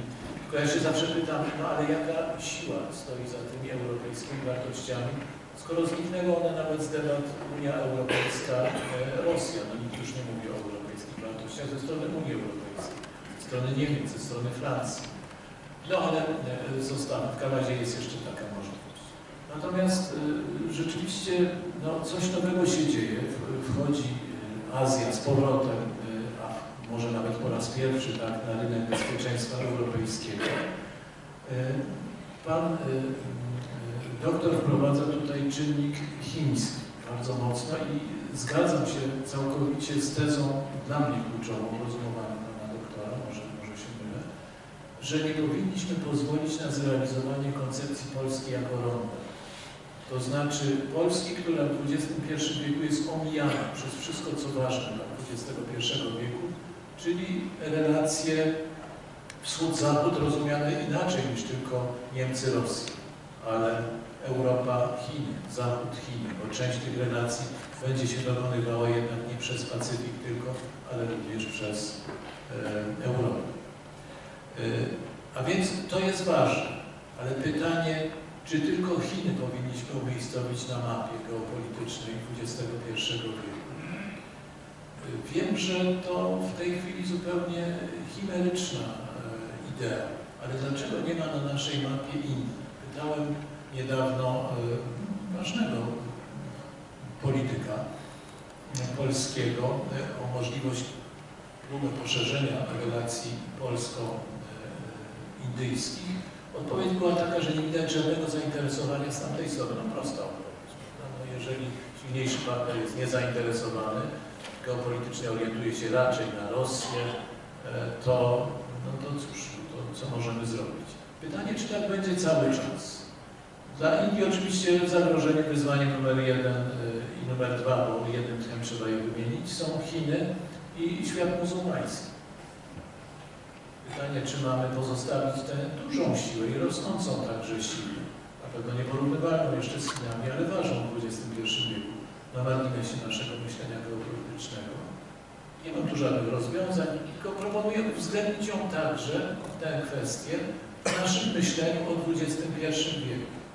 Wyjdźmy rzeczywiście z tego troszkę zaściankowego, użyję tego słowa, chociaż kocham zaścianki, e, e, myślenia, e, że no ważne jest tylko, żeby tak nie myślało PO albo tak nie myślało PiS, bo to jest cały horyzont naszej elity politycznej, powiedziałbym, w sprawach polityki zagranicznej. To jest szalenie przygnębiające, bo w polityce zagranicznej nie może o to chodzić. Musi chodzić o coś więcej. A zatem E, No, myślę, że uwzględnimy w naszych scenariuszach przyszłości, tyle tylko powiem, nie tylko nieoczekiwane katastrofy, nie tylko oczekiwany wzrost potęgi Chin, ale także kwestię e, muzułmańską, islamską, szerzej może trochę jeszcze niż w książce pana doktora to było e, uwypuklone, no i kwestię roli Indii na mapie Eurazji, na mapie wielkiego kontynentu, następnych kilkudziesięciu latach. Może nie teraz, może nie w tym roku, ale to także uwzględnimy, bo e, uzależnienie od Chin e, jako pewnego rodzaju e, wizja negatywnego rozwoju wpływów chińskich w dłuższym okresie czasu jest dla mnie równie nieprzyjemna jak uzależnienie od Rosji czy uzależnienie od Niemiec, jak każde uzależnienie. Dziękuję za to takie właśnie rzucenie tematu przyszłości tego superkontynentu. Zaraz tego spróbuję odnieść, natomiast a propos Indii, taka ciekawostka świeża. Rzeczywiście jest tak, że jeżeli geopolityka XXI wieku, zresztą tak naprawdę jak się dobrze podrapie do powierzchni, to właściwie do tego to się sprowadzało w przyszłości również, polega na rywalizacji o e,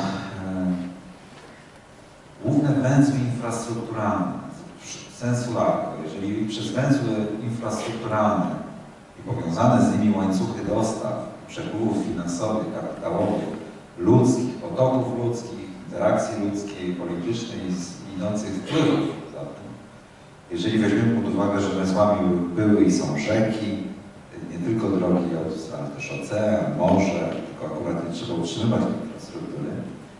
I jak się tak troszkę uprości, ale coś w tym jest, to o to zawsze były rywalizacje, żeby kto kontroluje miejsca kluczowe dla tych przepływów kapitału ludzi, co powiedziałem, wojsk. To oznaczać będzie, że e, zwłaszcza gdy będzie się dalej rozwijała technologia, która, zwróćmy uwagę, od jakichś 150 lat ogranicza przewagę potęg morskich, bo wcześniej wszystko, co istotne w ruchu, działo się na oceanie. Towar, ludzie, opływało się wszystko.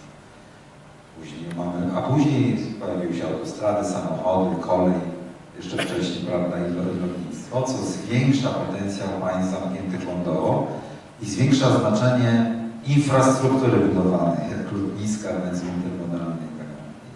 Jeżeli tak miałaby wyglądać przyszłość Eurazji w XXI, to po pierwsze, kilka wynikających z tego skutków. Po pierwsze, my nie możemy być rondem, w którym nic nie ma i w strojach łowickich rzucać tylko do pociągów niemieckich, kanapki. No bo do tego to się sprowadza. Sekundę tylko pewną anegdotę, ale prawdziwą. Przepraszam, pan prezydent Wałęsa, kiedy odbierał e, tytuł e, honorowego doktora Uniwersytetu Opolskiego w takich mniej więcej okolicznościach, czyli wobec sali e, zgromadzonych, zainteresowanych, e, po odebraniu e, usłyszał e, pytanie z sali zadane przez profesora Kawalca z Uniwersytetu Opolskiego i Śląskiego. No i to było kilka lat temu. No co z sytuacją demograficzną Polski, no bo jest taka dramatyczna. I prezydent Wałęsa odpowiedział, nie przypuszczam, żeby sam z siebie, no gdzieś to usłyszał. prawda? Polaków wystarczy 20 milionów, żeby obsługiwać te CPN wschód zachód. No właśnie. Po to, żebyśmy mogli mieć własne węzły infrastrukturalne i łańcuchy dostaw służące naszemu społeczeństwu, musimy złamać równoleżnikowe uzależnienie transportowe i mieć również południkowe i promieniste. To, co mówił Eugeniusz Kwiatkowski, że jego zadaniem było obrócenie systemu transportowego o 90 stopni II Rzeczypospolitej. No, nie jest czas na tłumaczenie, na czym to polega, ale tak jest. Jeżeli Ameryka wysłała i to nawet nie chodzi o to, że Chiny stałyby się nowym hegemonem, tylko powstałby nowy ląd super, połączony infrastrukturą między Europą a Indiami, Europą a Chinami. I ta cała pusta przestrzeń 500 lat po odkryciach Kolumba i Vasco da Gama właściwie, która zamarła z punktu widzenia rozwojowego, stałaby się znowu pulsującą żyłą handlową, kupiecką, prawda, tam dużo ludzi mieszka. To wróciłyby tradycje imperiów lądowych i wpływów, takie jakie zawsze były w historii świata, a o czym zapomnieliśmy żyjąc od 30 lat w konstruktywistycznym ładzie hegemona morskiego, liberalnego, dosyć łagodnego, w szczególności dla nas, bo mieliśmy zbieżny interes, tak, geopolityczny. O czym już niektórzy byli w świecie arabskim by nie, nie powiedzieli. I uważam, że wtedy nie możemy nie wziąć udziału w grze, która jest grą twardą i wymaga takiej pracy właśnie, jak wykonywał Kwiatkowski i inni, e, ciągłego unikania uzależnień na tym będzie polegało poszukiwanie niepodległości która zawsze jest zagrożona, zawsze jest po jakąś tam względna, w tym sensie, że codziennie trzeba o nią się troszczyć. Nie w jakichś abstrakcyjnych celach, tylko właśnie po to, żeby nam się lepiej żyło. Dostatniej, żeby ludzie mieszkający w tej przestrzeni, którą nazywamy państwem polskim, mieli szanse życiowe, nie musieli migrować.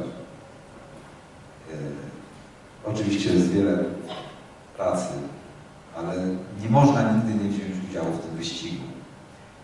E, Trzeba być człowiekiem. I to byłby świat, gdzie Amerykanie opływaliby do Eurazji dookoła, tak jak Wielka Brytania, i balansowaliby. Byłby jakiś koncept pewnie mocarstw. Jakiś. Pięciu, ośmiu.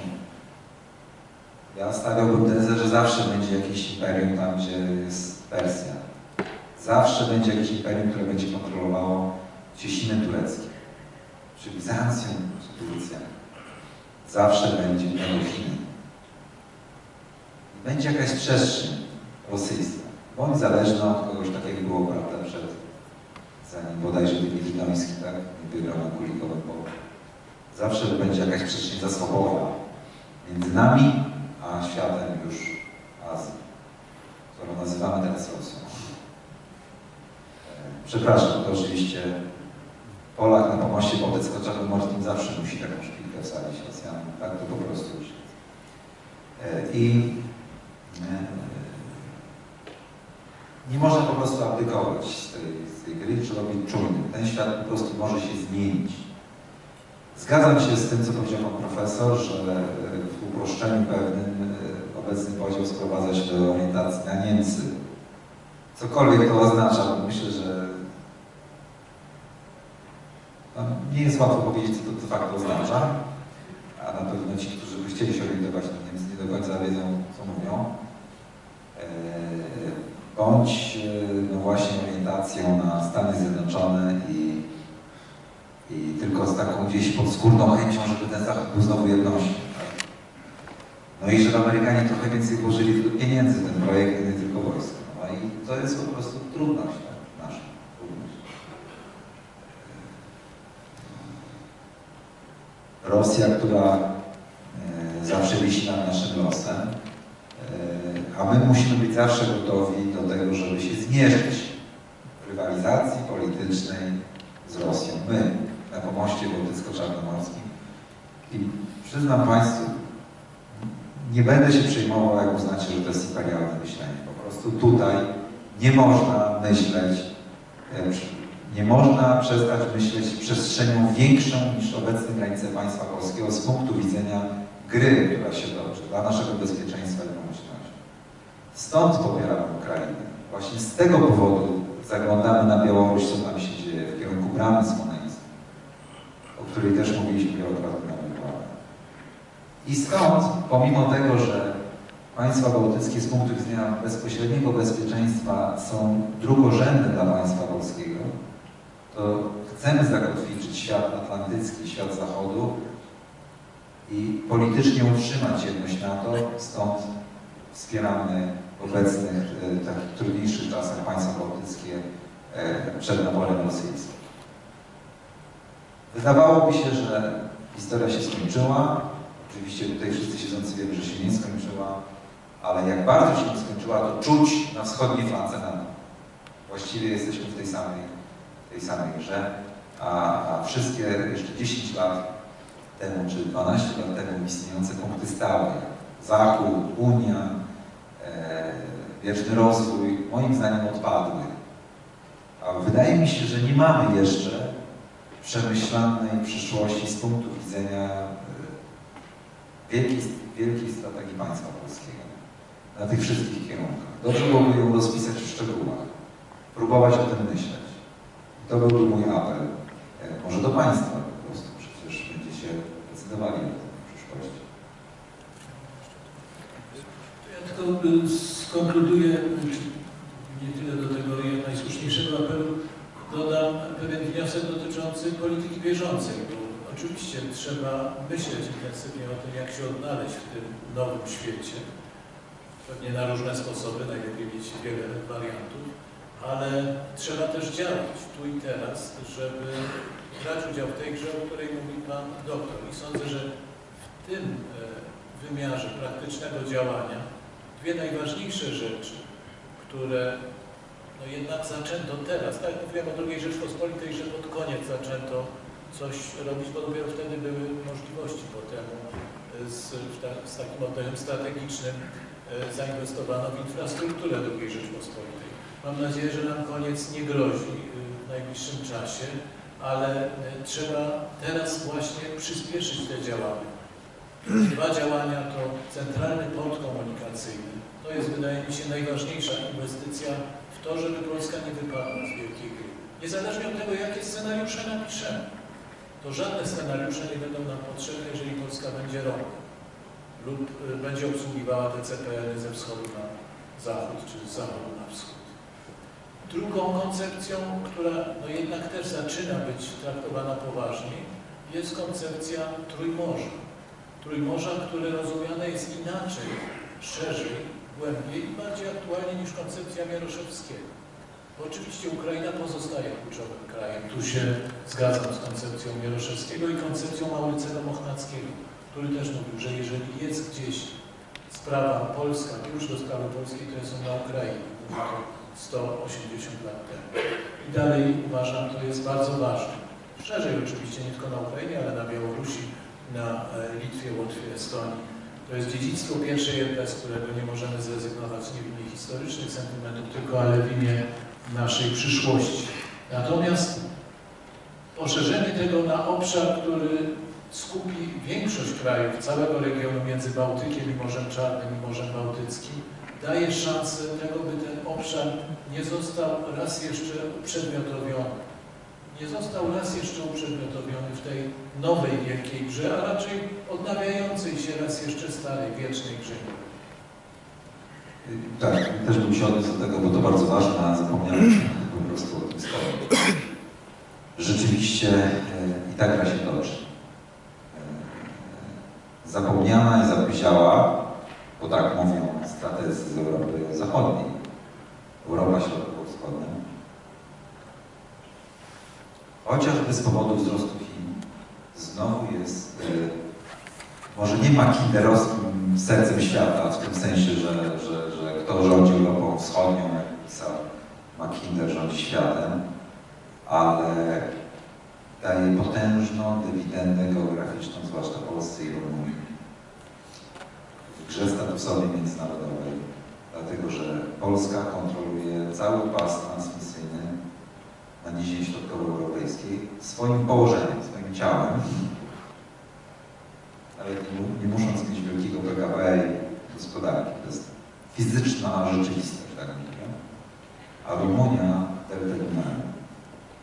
To są dwa wejściowe punkty do Europy Morskiej ze wschodu. Zarówno z punktu widzenia wojskowego, ogólnostrategicznego, ale też geopolityki systemowej, gospodarczej. Zwłaszcza z perspektywy Chin. To nawet nie chodzi o plany chińskie. Przede wszystkim chodzi o to, co Niemcy planują w Europie Środkowo-Wschodniej. A tradycyjnie biznes niemiecki chce panować w Europie Środkowo-Wschodniej, bo ma najlepszy status zwrotu, tutaj najtańszą siłę roboczą.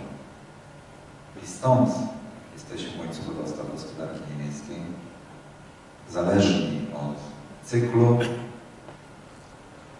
i koniunktury gospodarczej i technologicznego cyklu gospodarki niemieckiej. To jest bardzo niekomfortowa sytuacja, która teraz oczywiście daje nam jakiś tam dobrobyt, ale różnie może być. Na przykład różnie może być, gdy Amerykanie docisną śrubę złamią ład globalny i, i też może to Niemcom zaszkodzić, którzy handlują z Chinami. My możemy też dotknąć. Ale chciałem tylko po prostu powiedzieć, że jest paradoksalnie coś niesamowitego w tym, że jak się spojrzy na mapę i się zrozumie te prawidłowości, to się idzie dawną drogą Hetmanów Rzeczpospolitej w kierunku na, przez lasy Bukowiny, na Gałacz, w kierunku na Deltę Dunaju. E, Bo to jest to miejsce, z punktu widzenia interesów gospodarczych Rzeczpospolitej powinno być e, naprawdę analizowane. Zwłaszcza gdyby ta, superkontynent Eurazji miał powstawać i gdyby trzeba było rywalizować z Niemcami o węzły infrastrukturalne. Przyznajmy. IPRL i chyba trzecia Rzeczpospolita odzwyczaiła nas od myślenia takimi kategoriami. A w drugiej Rzeczpospolitej myślano o tym. I to bodajże chyba też z tego co pamiętam Kwiatkowski myślał o połączeniu e, e, z no, od, od Lwowa, stworzenia z Krakowa i Lwowa takich dwóch chyba węzłów wodnych i później puszczenia Dniestrem, bo wtedy no, głównie myślałem o wodzie, teraz można by pomyśleć o autostradach i innych sprawach. Tu się oczywiście wchodzi kwestia zachodniej Ukrainy, niestabilności tego państwa, już gra z Rosją i tak dalej, i tak dalej. Ale powstałaby wewnętrzna linia transportu wojskowego i w ogóle geopolitycznego między no, dawnym Międzymorzem, można powiedzieć, obecnym Trójmorzem, który po liniach wewnętrznych blokowałby Rosję, jednocześnie dawałby pakiet kontrolny przestrzeni zarówno względem Niemiec, jak i Chin na głównej osi wejściowej Europy. E, I to jest e, w bardzo pustych przestrzeniach biednych, na dawnym, mówię, szlaku hetmańskim. Dobrze, dziękuję bardzo.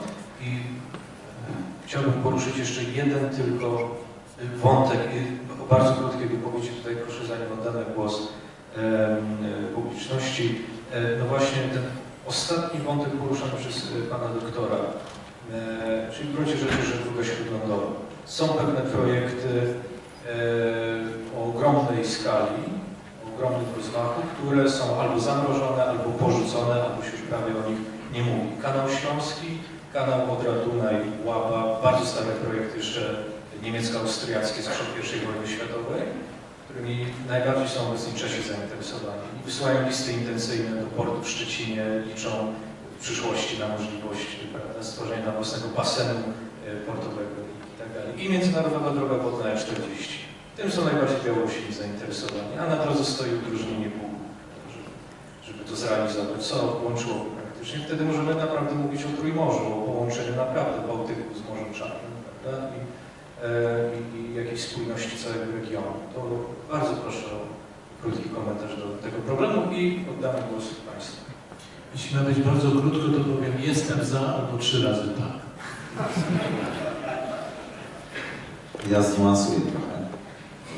Musimy bardzo dobrze rozpisać każdy z tych e, pomysłów na czynniki pierwsze, bo przy każdym proje- projekcie ktoś bardziej zyskuje, a ktoś bardziej traci. To nie jest tak, że zawsze win-win, głównie korzyści. I poza tym trzeba wybrać priorytety. To nie jest takie puste, za przeproszeniem, gadanie. Chodzi o to, że znowu, jak spojrzymy na mapę Europy Środkowo-Wschodniej, to istnieje coś takiego jak e, tradycyjna dominacja, czasami tylko niewidoczna, Niemców w Dolinie Dunaju. I musimy wiedzieć, co łączymy z czym. Bo jeżeli jest prawdą geopolityce XXI wieku, że połączoność, connectivity, tak, jak to się mówi w języku angielskim, decyduje o przewagach, czym masz więcej połączoności, to masz więcej wyboru, więcej twojego i kontrolujesz to, a nie dajesz innym kontrolować, to masz więcej przepływ kapitałów, potoków ludzkich, zarabiasz, masz wpływ, liczą się z tobą i tak dalej. Tak, tak.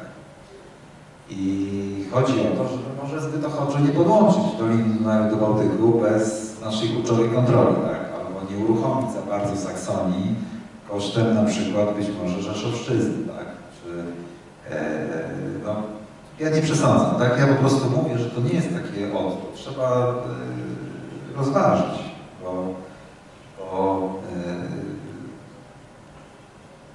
to są naczynia połączone i polityka Węgier obecna bardzo zręczna z punktu widzenia pozycjonowania się na nową Wenecję Dolinie Dunaju, gdy nie są żadną nową Wenecją z punktu widzenia geografii, a chcą sprawiać takie wrażenie i robią to dosyć skutecznie, łączą się ze wszystkimi, mając opcje w związku z tym ze wszystkimi, e, świadczy o tym.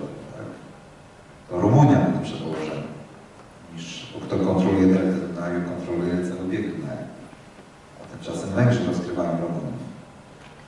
E, A jeszcze jak się by podłączyli przez Bramę Morawską z nami i z Bałtykiem, no to naprawdę są Wenecją. Jeszcze sobie z Pireusem, z Chińczykami, wchodzą nad Czarne Morza, dosłownie zaczynam przypominać to wtedy naprawdę Wenecję, e, która kontrolowała właśnie wschodnie Morze Śródziemne, Morze Czarne, właściwie ciśnienie tureckie wynegocjowała, wynegocjowane miała z Bizancjum odpowiednio e, i, i miała te punkty kontrolne i prze, prze, przełęcze europejskie.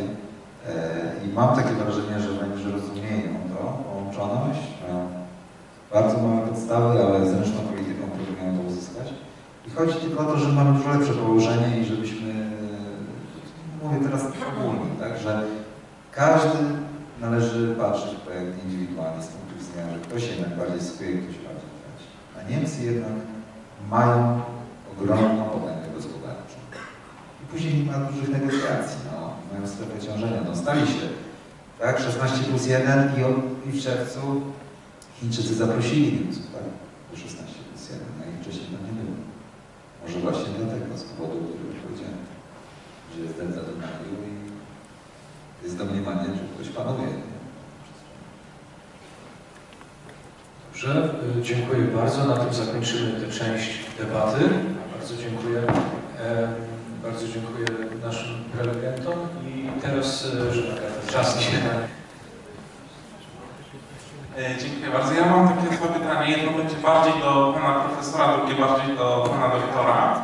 E, Tutaj najpierw tak bardziej historycznie e, chciałbym się dopytać o tę koncepcję, że mamy teraz ten sojusz ze Stanami Zjednoczonymi, mamy, no i pojawiła się ta koncepcja zbliżenia takimi z Chinami. Tutaj w kontekście tego, co pisał e, Cad Mackiewicz o sojuszach egzotycznych, czy właśnie te koncepcje trochę się uniłapną i co dzisiaj Car Mackiewicz by o takim podejściu i o takich sojuszach powiedział?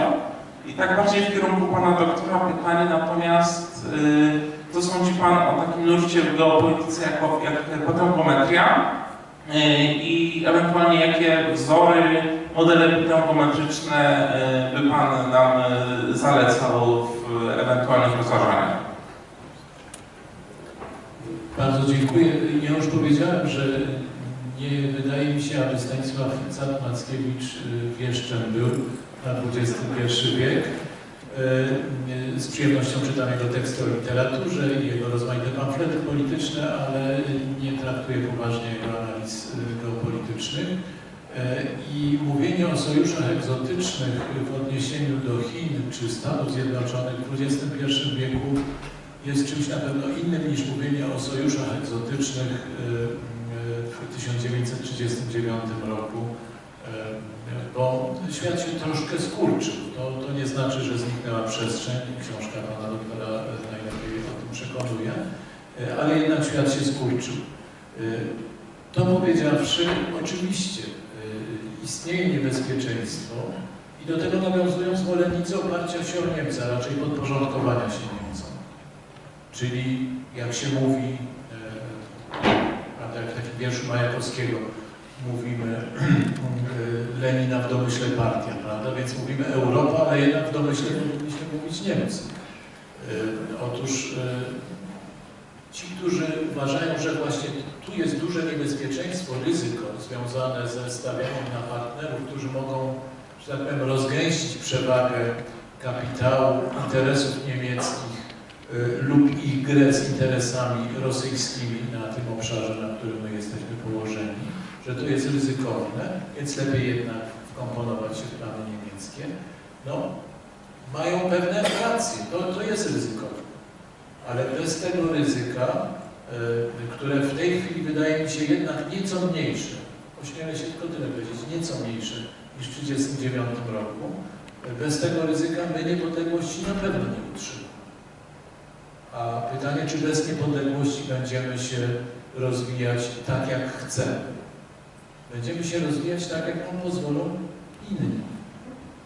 I no, tego rodzaju dylemat musimy rozstrzygnąć. Czy chcemy funkcjonować w miarę bezpiecznie według koncepcji kształtowanej w Berlinie, czy chcemy ryzykować, próbując wykorzystać jeszcze istniejącą potęgę globalną amerykańską i wzrastającą potęgę chińską do, do poszerzenia swojego pola manewru. No, w skrócie widzę ten dylemat, y, który jest obarczony ryzykiem oczywiście, ale jednak mniejszym ryzykiem niż w 1939 roku, no także z tego względu, że Niemcy nie są dzisiaj rządzone przez Adolfa Hitlera, nie są państwem totalitarnym, y, nie grozi nam jednak inwazja militarna, przynajmniej nie wyobrażam jej sobie w tej chwili, może pan doktor inaczej to y, widzi, od zachodu y, inwazja militarna w, najbliższym czasie.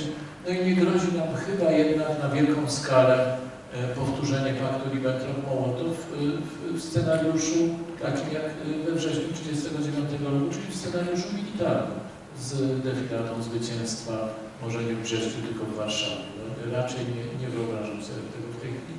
Dlatego uważam, tym śmielej powinniśmy myśleć o scenariuszach innych niż bezpieczeństwo pod skrzydłami Europy, czytaj Niemiec. Tak, ja się zgadzam. Dodam jeszcze, że to jest tak, że oczywiście od zachodu nam nie grozi militarne niebezpieczeństwo. E, Rosja też jest bardzo słaba. Znaczy poró- w porównaniu do tego, jak było w latach 30. po forsownej industrializacji i zachodnią no jeszcze byliśmy położeni między Niemcami a Rosją. Teraz mamy dużo łatwiejsze położenie. Jeszcze jest czynnik chiński, Generalnie mamy bardzo w trudnym naszym, wymagającym, już nie trudnym, ale wymagającym z punktu widzenia istotności miejsca na świecie. Uważam, że mamy wybitną szansę na zmianę statusu. E, Również zgadzam się, że mamy wybitne granice piastowskie. Nie zapominawszy oczywiście o tym jednakże wschód to wschód. Tak? Mamy w związku z tym zupełnie wspaniałe pozycje wyjściowe do rozpoczęcia wielkiej gry e, dla państwa polskiego w XXI wieku. Z tych wszystkich powodów. Oczywiście świat to dosyć niebezpieczne miejsce. E, Co do egzotycznych sojuszów, o tyle sojusz z Stanami Zjednoczonymi nie jest egzotyczny, co jednocześnie nie oznacza, że jest 100% pewny, codziennie nie należy patrzeć, czy Amerykanie słabną, nie należy walczyć o to, żeby byli obecni, bardziej korzystnie dla nas. Nie ma nigdy tożsamości interesów wszystkich graczy. E, o tyle, no jednakowoż Amerykanie mają zdolność do projekcji siły, e, mają zdolność do wpływania na otoczenie geopolityczne daleko od swoich brzegów i to już wystarczająco dużo. E, co widać po tym, jak rozmawiają w tej chwili z Niemcami, jak rozmawiają w Brukseli, jak Pompeo mówił tydzień temu do, no, tych z Brukseli, tak? w jaki sposób ich, ich instruował, jak mają postępować. Więc e, to jest realna siła. Oczywiście siła zawsze jest mitygowana przestrzenią, więc ja mówię, nie, nie, może, nie można absolutyzować i wierzyć w konstrukty, że nie ma podziału ryzyka. Oczywiście, że jesteśmy w innym ryzyku niż Amerykanie, po to są potrzebne polskie siły zbrojne i potrzebna jest nasza polityka, ale, ale to nie jest egzotyczny sojusz w tym, w tym aspekcie. A poza tym Amerykanie dają nam dostęp do cenu światowego, stąd mamy polskie LNG, stąd mamy gaz, stąd mamy możliwość dywersyfikacji. No, to jest y, złożona. Co do drugiego Pana pytania, nie ma, umiem kompletnie się ustosunkować, nie mam zielonego pojęcia, o co Pan mnie zapytał. Eee, no, jest to lekcja dla mnie pokory, że zawsze jest czas na naukę, może tak to odpowiem. E, Dzień dobry. Bardzo się cieszę, że mogę zadać pytanie. E, Pierwsze to jest e, w kontekście Stanów Zjednoczonych do panów, to znaczy e, czy ten nasz sojusz bliski, e, zacieśniany w ostatnich miesiącach i latach nie, nie skończy się z momentem, kiedy w Stanach się e, zmieni władza, pan, pan Trump odejdzie. To znaczy, jakie jest ryzyko tego, że polityka Stanów Zjednoczonych jednak się zmieni, bo pamiętamy, że za prezydentury Baracka Obamy jednak e, wyglądało to troszkę, troszkę inaczej. I drugie pytanie już do pana doktora.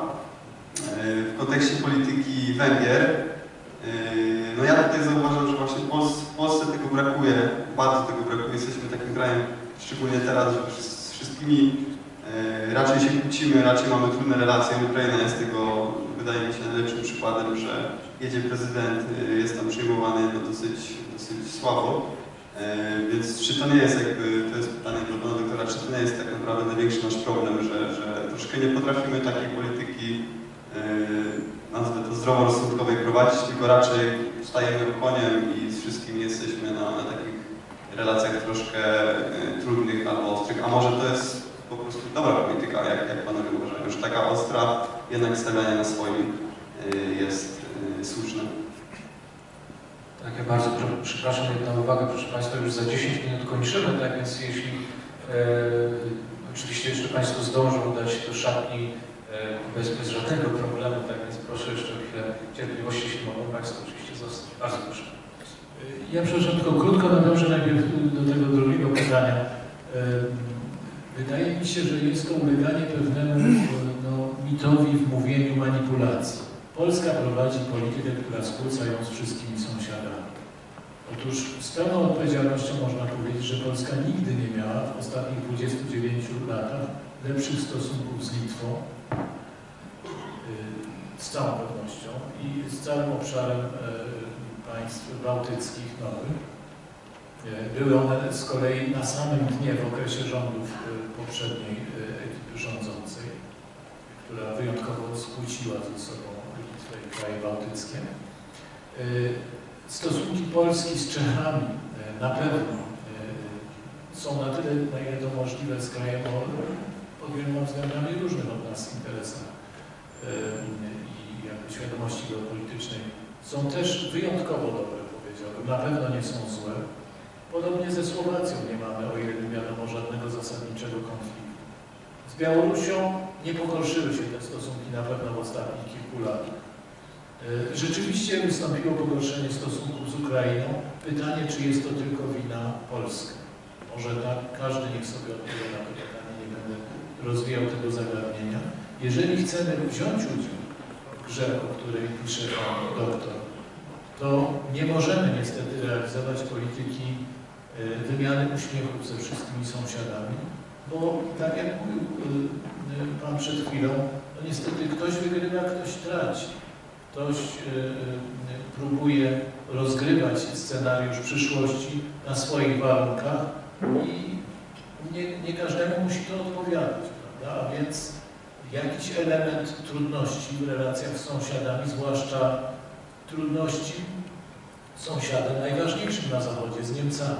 Trudności, które w żaden sposób nie powinny przerodzić się w konflikt, y, zwłaszcza otwarty, bo, e, no bo to by nam zaszkodziło bezdyskusyjnie. Ale jeżeli, jeżeli uznamy, że tylko polityka, w której nie generujemy żadnej sprzeczności interesów z Niemcami jest dobra, no to jest to polityka, w której realizujemy interesy niemieckie. No i wracamy do pytania, o którym mówiliśmy przed chwilą. Pana pytanie pierwsze dotyczyło, proszę tylko krótko przypomnieć. A, tak, y, rozumiem. Otóż y, rzeczywiście taką tezę dzisiaj wygłosił y, na y, debacie Fundacji Batorego pan premier Cimoszewicz, że no w ogóle nie należy rozmawiać z Trumpem, bo to jest wariat i, y, i w związku z tym jego nie ma. To prezydent Trump jest prezydentem wybranym. Jeszcze przez dwa lata prawie na pewno będzie prezydentem, niewykluczone że przez sześć lat. Y, Sondaże są mieszane w tej sprawie. Y, Jedne mówią, że raczej, chociaż to jeszcze daleko, Trump może być wybrany na drugą kadencję, drugie, że nie. Otóż, tak jak Pan doktor mówił, jak wszyscy widzimy, czas przyspiesza bardzo. To, co, się będzie działo w najbliższych dwóch latach, jest też bardzo ważne, bardzo ważne, więc jest, kto w tej chwili rządzi w Stanach Zjednoczonych. I pytanie, czy możemy go ignorować, czy wykorzystać to, że rządzi tak, jak rządzi i jego językiem próbować się z nim porozumieć, tak, ażeby zainwestował tutaj pewne elementy infrastruktury bezpieczeństwa, za które my oczywiście zapłacimy, bo inaczej Donald Trump, ale także Barack Obama, ani następca e, e, Donalda Trumpa na pewno nie będzie chciał inwestować w strukturę bezpieczeństwa w Polsce. Tylko pod tym warunkiem, że my za nie zapłacimy. Ale jeśli coś infrastrukturalnie się tutaj zacznie, to wycofać się z tego jest trudno, nawet administracji o zupełnie innych ideologicznych, powiedziałbym, priorytetach niż, niż Donald Trump. A zatem uważam, że trzeba wykorzystać tę prezydenturę do poczynienia przez Stany Zjednoczone, którymi kieruje Donald Trump w tej chwili efektywnie, pewnych kroków trudnych do odwrócenia, tak bym to powiedział, utrudniających odwrót. A Ameryka będzie patrzyła na swoje interesy geopolityczne niezależnie od tego, czy rządzi nią Donald Trump, czy rządzi nią y, Mister czy Mrs. X wybrana w wyborach za dwa lata czy za sześć. Tutaj pełna zgoda, e, od dłuższego czasu mówię. E, To są pozory, że w ogóle to ciekawe bardzo, że był premier mógł powiedzieć takie rzeczy. Ameryką rządzi interes, poza oczywiście jakimiś doraźnymi historiami, ale w takich sprawach, które dotyczą globu, dotyczy rządzą interesy imperium, dają stabilizacji. Tylko strukturalne zmiany w ramach imperium zmieniają tą trajektorię. I kurs na Chiny będzie kontynuowany, znaczy na powstrzymanie Chin będzie kontynuowany, dopóki Ameryce starczy sił. Jeżeli przestaną to robić, to znaczy, że przegrali. I tego bądźmy pewni. Mało tego uważam, że od stycznia tego roku jest konsensus w Waszyngtonie na temat złamania Chin. A od czerwca zupełnie już i biznes się również dołączył do tego, wielki biznes. E, więc, e, a to jest główna oś polityki zagranicznej Stanów Zjednoczonych. To też, o czym też powinniśmy pamiętać w kontekście Rosji, stałej obecności i innych spraw. Jak wiemy, Amerykanie mają swoje wyzwania, mają w szczególności problemy z liczebnością sił zbrojnych, mają tyle wyzwań, że ciężko jest wszędzie być. I finansowaniem tego. Ale nie wierzę w zmianę e, polityki amerykańskiej, chyba że będzie ona oznaczała utratę obecnego statusu Stanów Zjednoczonych. Co też oczywiście przyniesie różne konsekwencje, ale to trudno teraz w tej odpowiedzi spekulować. Co do klasy politycznej, tak, to było pytanie, e, a co do naszej polityki? To, to jest oczywiste, że jeżeli się realizuje politykę swoją, to, to boli tych, którzy są przyzwyczajeni do status quo. Z Rosją, szczerze mówiąc, z Rosją ja kompletnie nie widzę, żebyśmy, e, znaczy nie to, że nie widzę teraz. Chyba mam niestety takie troszeczkę skłonności strukturalistyczne, czy, czy, czy realizmu strukturalnego. Ja po prostu nie wierzę w dogadanie się kiedykolwiek z Rosją państwa polskiego. Po prostu. Musimy z tym żyć. I dorosnąć do tego, żeby, żeby o tym wiedzieć. E, Pięknie zresztą też Mieroszewski o tym pisał. Myślę, że Rosjanie też tak na to patrzą, trochę ogólniam, ale tak mi się wydaje. E, Być może nawet nas przeceniają trochę, że my tak się czujemy silni i prowadzimy jakąś twardą politykę na wschodzie. Co do y, Niemiec, no to będzie taka pivotalna sytuacja, kluczowa. Jak zadecydujemy, czy się układamy z Niemcami, czy jednak budujemy własne systemy łańcucha dostaw i w oparciu o być może Amerykanów, czy w inny sposób, może rozstrzygnąć naszą przyszłość i e, w szczególności nasz rozwój gospodarczy w następnych 25-30 latach. Kompletnie nie umiem powiedzieć, jaką decyzję podejmiemy ale ona będzie kluczowa z punktu widzenia takiego codziennego życia naszego. E, kończąc jeszcze tylko, to, że Rosja jest słaba, wojskowo też jest słaba i ma bardzo wiele kierunków operacyjnych, nawet ma problemy z liczebnością sił zbrojnych, nie oznacza, że w wyniku jakiegoś chaosu w ładzie międzynarodowym, a w szczególności amerykańskiego napięcia, amerykańskiego napięcia na zachodnim Pacyfiku i być może jakiejś wojny, Rosjanie nie będą próbowali dokonać zmian w państwach bałtyckich. I wówczas pojawi się dla nas kwestia, co z tym my zrobimy na pomoście bałtyckim czarnomorskiej. Co Rzeczpospolita na to? Może się pojawić presja na Białoruś, presja na Ukrainę. I przecież to są żywotne interesy państwa polskiego, w tym bezpieczeństwa, w tym wojskowym. Dobrze byłoby zgodnie z założeniami Montkiego mieć szufladę A, B, C i D. Równie dobrze może doprowadzić do strefy chaosu, jak obecna Syria na wschodzie. Zaraz za Zamościem, zaraz za Przemyślem, być może za Brześciem. Tam akurat nie prawdopodobnie. Kto wie, gdzie są te plany, gdzie są te myśli, gdzie nasze wojsko myśli o tym. Dobrze byłoby, żeby o tym na temat się zastanawiać. Jedno zdanie w sprawie Rosji, tylko dodam. Ja jestem większym optymistą i rusofilem niż y, pan doktor.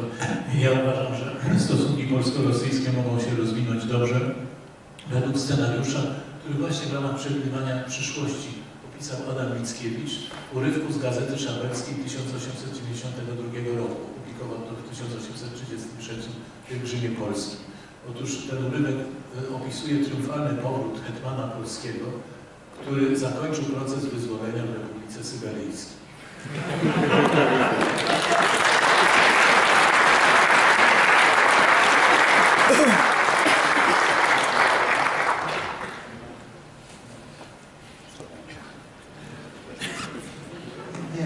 Cokolwiek teraz dodam, naprawdę. E, tak.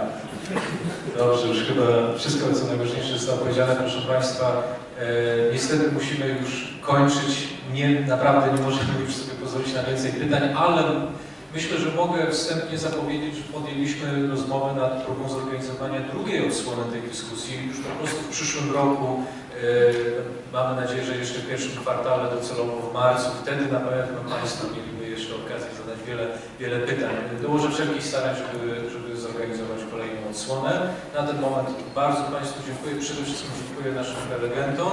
E, Myślę, że powinniśmy podziękować za...